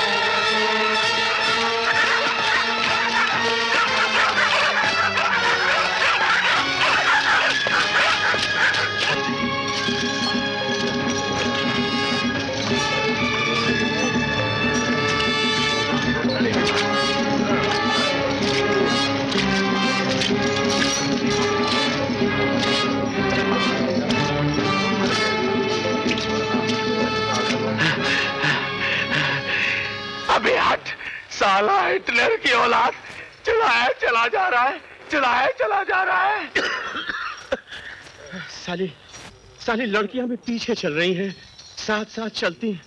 तो उन्हें देखकर कुछ थकावट तो दूर होती। अरे मर गए। पानी चाहिए रोटी चाहिए। भूख प्यास से जान निकली जा रही है। अबे ओए तो आदमी है कि शैतान? अरे पुलिस वाले भी इतने बेरहम नहीं होते रे। अब एक कदम और उठावा तो कलेजा फट के खून निकल आवेगा। बस अब हमसे नहीं चला जाता है। हाँ, नहीं चला जाएगा। किससे नहीं चला जाएगा? बहुत देर से तुम लोगों की बकवास सुन रहा हूँ। अब किसी ने एक लफ्ज मुँह से निकाला तो जबान खींच लूँगा। हाँ मेरे पीछे।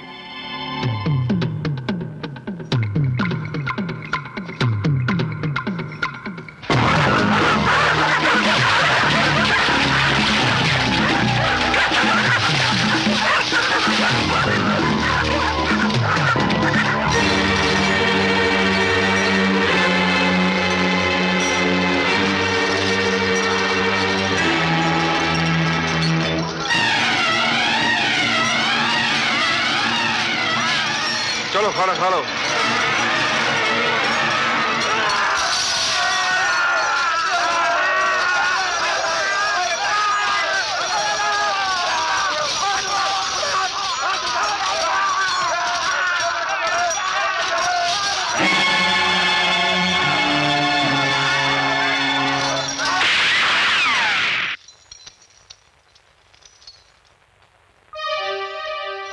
जानवरों की तरह नहीं इंसानों की तरह खाओ।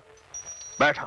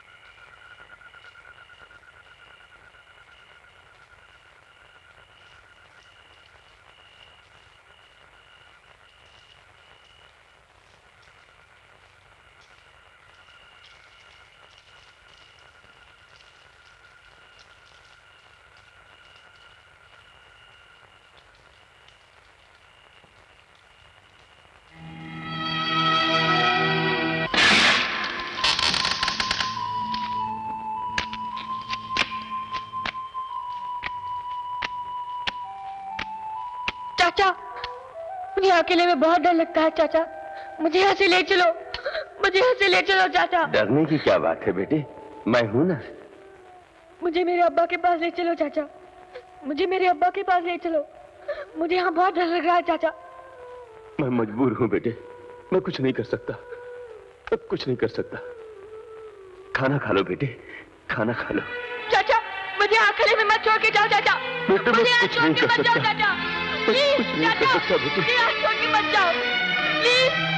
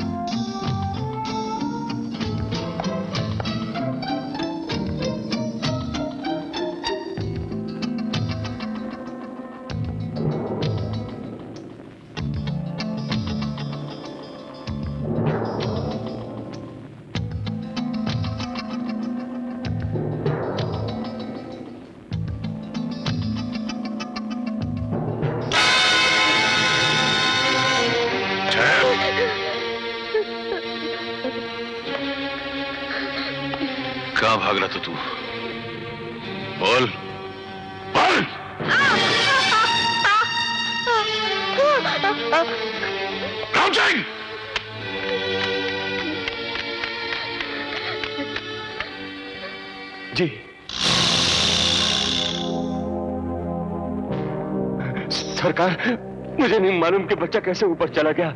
मुझे, मेरा यकीन कीजिए सरकार सरकार, मुझे कुछ नहीं मालूम, मुझे कुछ नहीं मालूम, मुझे कुछ नहीं मालूम सरकार, नहीं मालूम सरकार।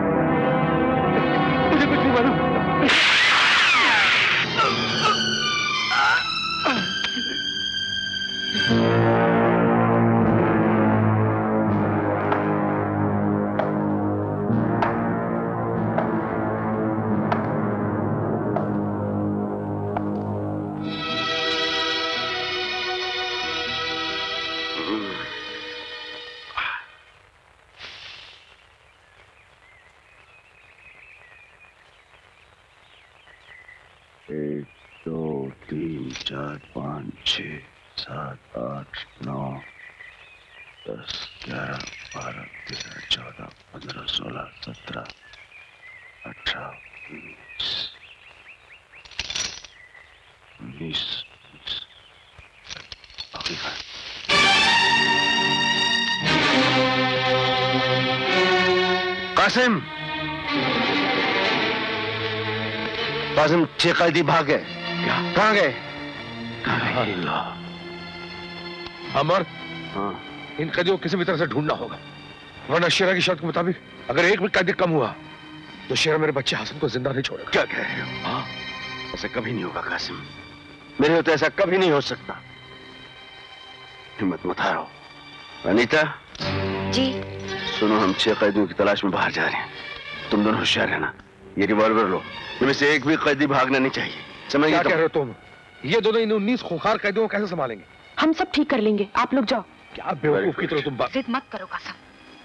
मासूम हसन की ज़िंदगी हमारी ज़िंदगी से ज़्यादा कीमती है। तुम्हें खुदा का वास्ता। जाओ जल्दी जाओ। Karan give your revolver to her come on let's go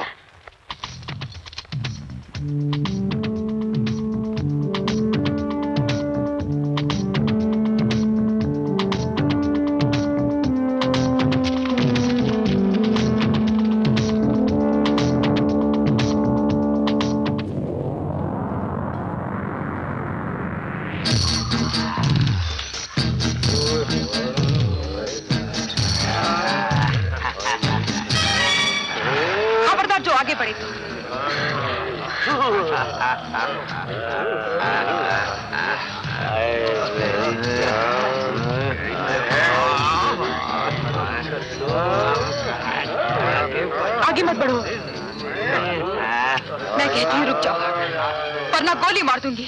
मारो? चलाओ गोली? कितनों को मारोगी? हाँ? तुम दोनों के पास दो रिवॉल्वर है और एक रिवॉल्वर में सिर्फ़ छह गोलियाँ हैं। मतबल ई हुआ कि तुम सिर्फ़ बारह आदमी का जख्मी कर सकत हो। बाकी सात आदमी का क्या करोगी रानी? और फिर बचे हुए साथ खूनखार शेरों की तरह तुम दो नाद गिरनियों को कैसे कैसे नोचेंगे ये तुम सोच लो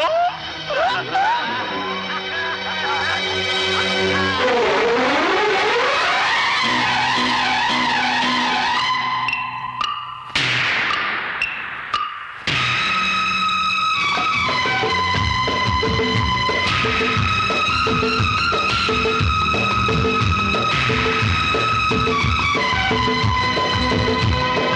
you.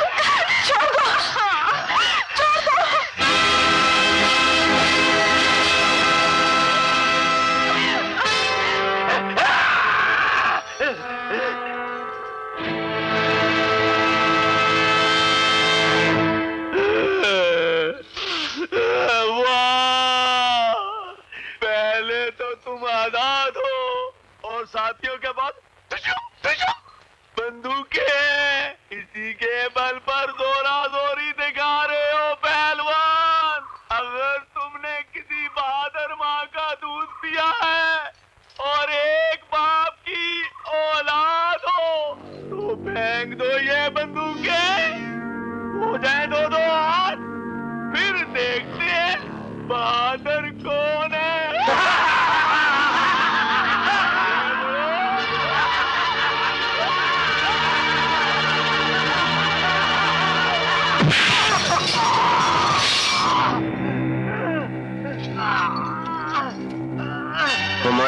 के दूध की तासीर में कितनी ताकत है, पता चला? हमारे बाप के बारे में जानना चाहते हो? मैं जानना चाहता हूँ।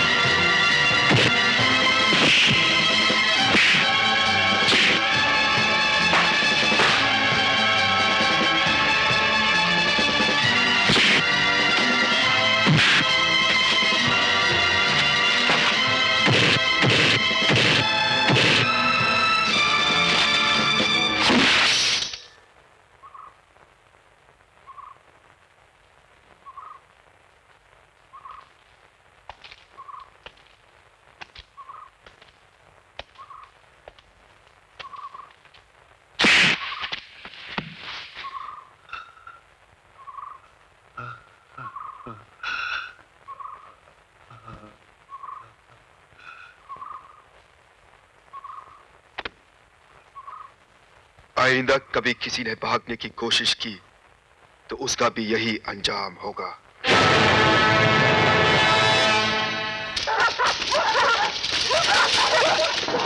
रुक जाओ। ये देखो। तुमने दो लगता है वो कदी यहीं आसपास ही है। कुत्तों को खोल दो।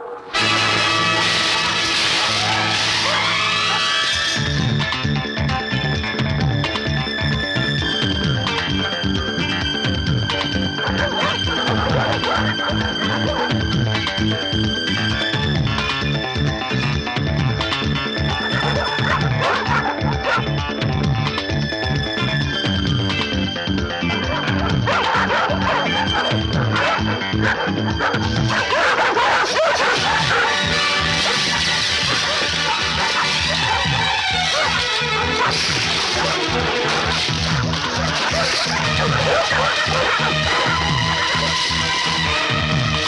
ha!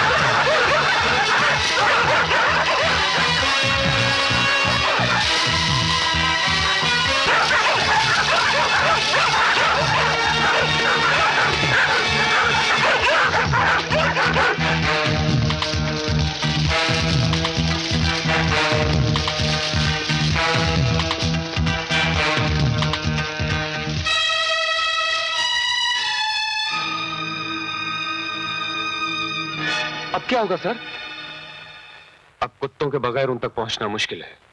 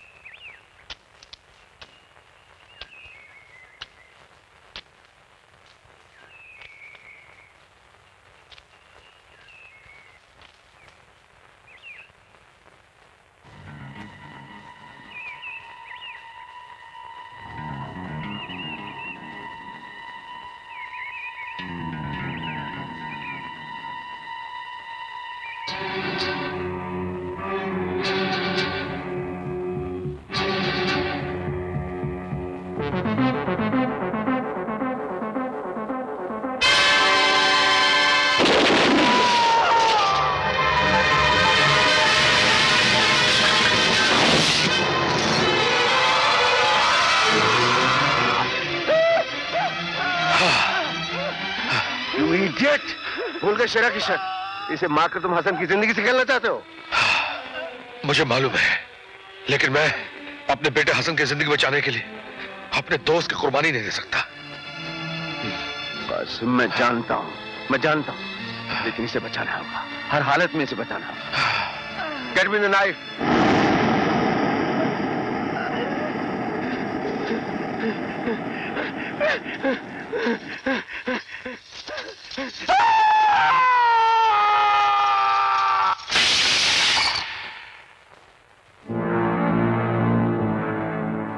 पहले वो ज़मीन पे गिरा हुआ खाना खाना? बाद में प्लेट वाला हाँ।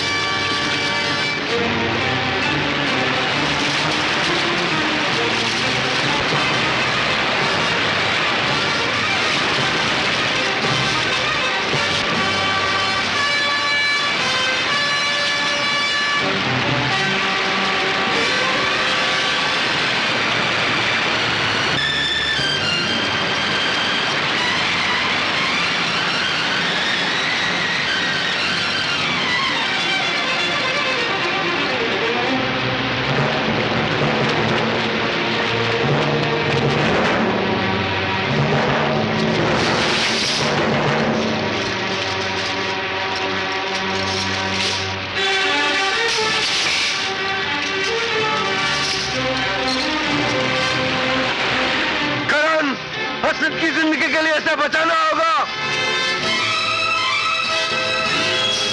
रस्सी पकड़ लो।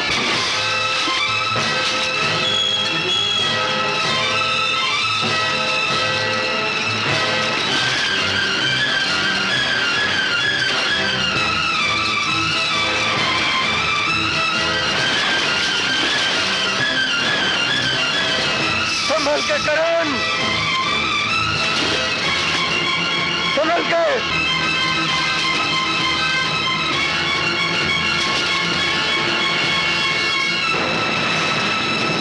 शाबाश। शाबाश कर। तो ठीक है ना! कासिम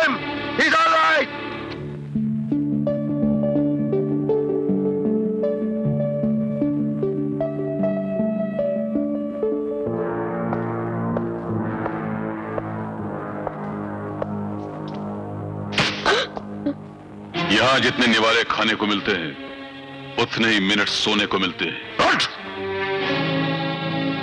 ज़्यादा सोएगा तो जान से मार डालूँगा।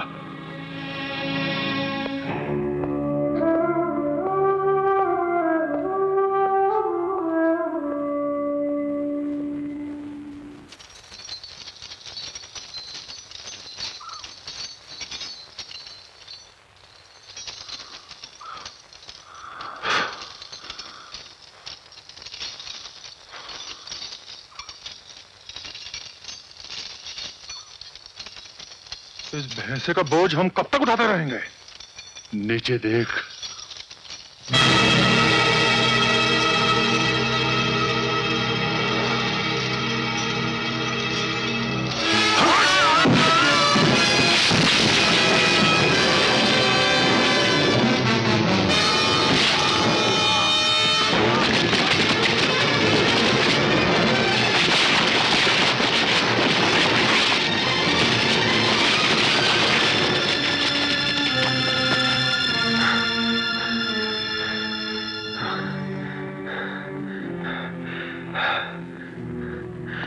मर गया।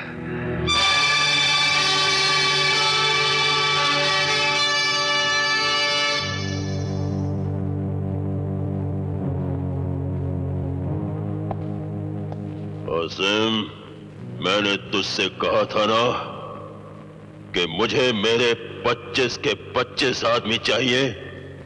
एक भी कम नहीं। नहीं नहीं शरा नहीं। देखो तुम तु, तुम मेरी जान ले लो मेरे बच्चे को छोड़ दो। और मैंने जानबूझ कर नहीं किया शेरा। नहीं सर मैंने जानबूझ कर नहीं किया शेरा। शेरा मैंने जान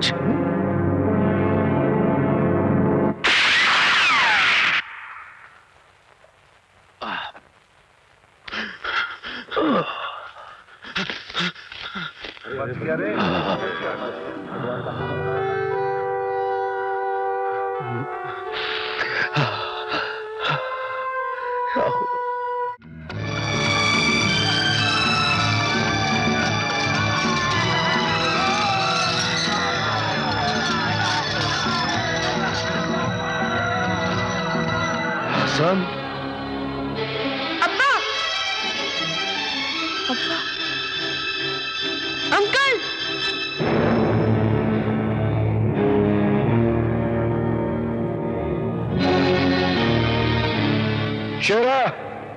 हमने अपना वादा पूरा किया। अब तुम भी अपना वादा पूरा करो। वादा? कैसा वादा? कैसा वादा? ठीक ही तो कह रहा है। डाकू जिस तरह तिजोरी के ताले तोड़ दिया करते हैं हम लोग वादे तोड़ दिया करते हैं। तुम लोगों ने पिछली बार मेरी हुकूमत पर हमला करके मेरी बहुत तबाही की थी। मेरे कई साथी मार डाले। अरे मैं अपने एक साथी की मौत पर बस्तियाँ उजाड़ देता हूँ। तो फिर तुम्हें कैसे छोड़ूँगा? बाँध दो इन्हें। चलो। तुम नहीं तुम अकेले। हाँ? चलो। जश्न मनाओ। लड़कियों, उस दिन तो तुम हमारे लिए नाची थी, लेकिन आज हमारे इन साथियों का दिल बहलाने के लिए नाचोगी। तुम दोनों नाचती बहुत अच्छा हो। और सुनो, इस बच्चे की ज़िंदगी का मुकद्दर तुम्हारे पैरों में लिखा है। जब तक तुम नाचती रहोगी, ये बच्चा ज़िंदा रहेगा। और जहाँ तुम्हारे कदम रुके अमर और करण पर गोलियाँ चल जाएँगी। और उनके कदम डगमगाते ही यह बच्चा मौत के फंदे से लटक जाएगा। तुम्हारी खामोशी को इंकार समझा जाएगा। और इंकार पर गोलियाँ चल जाएँगी।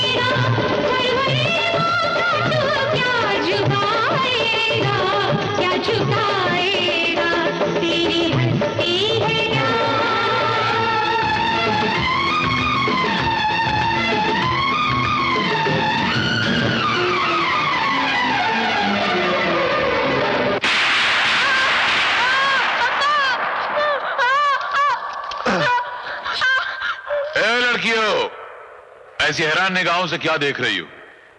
मैंने तो पहले ही कहा था कि तिजोरी के ताले और वादे तोड़ना हमारी पुरानी आदत है। नाचो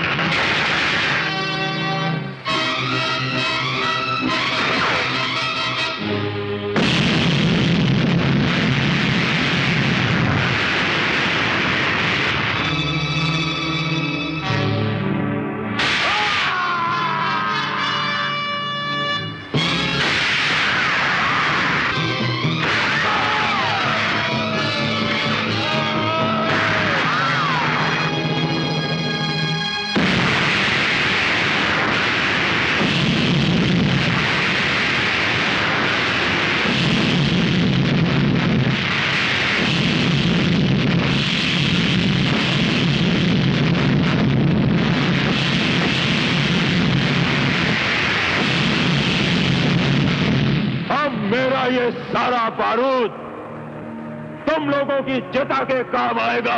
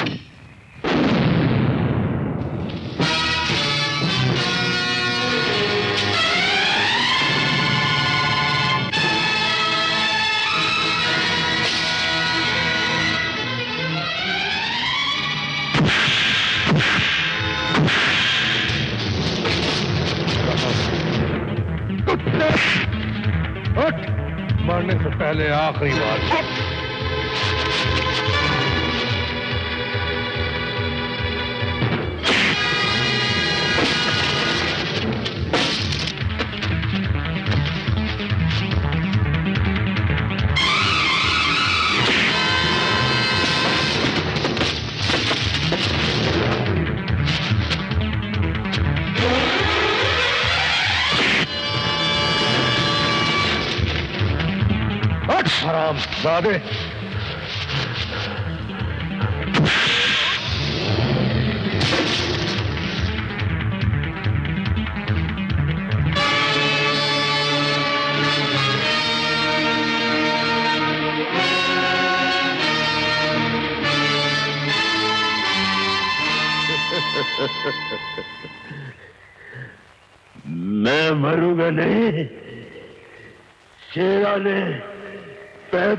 से पहले ही अपनी मौत को मार दिया था।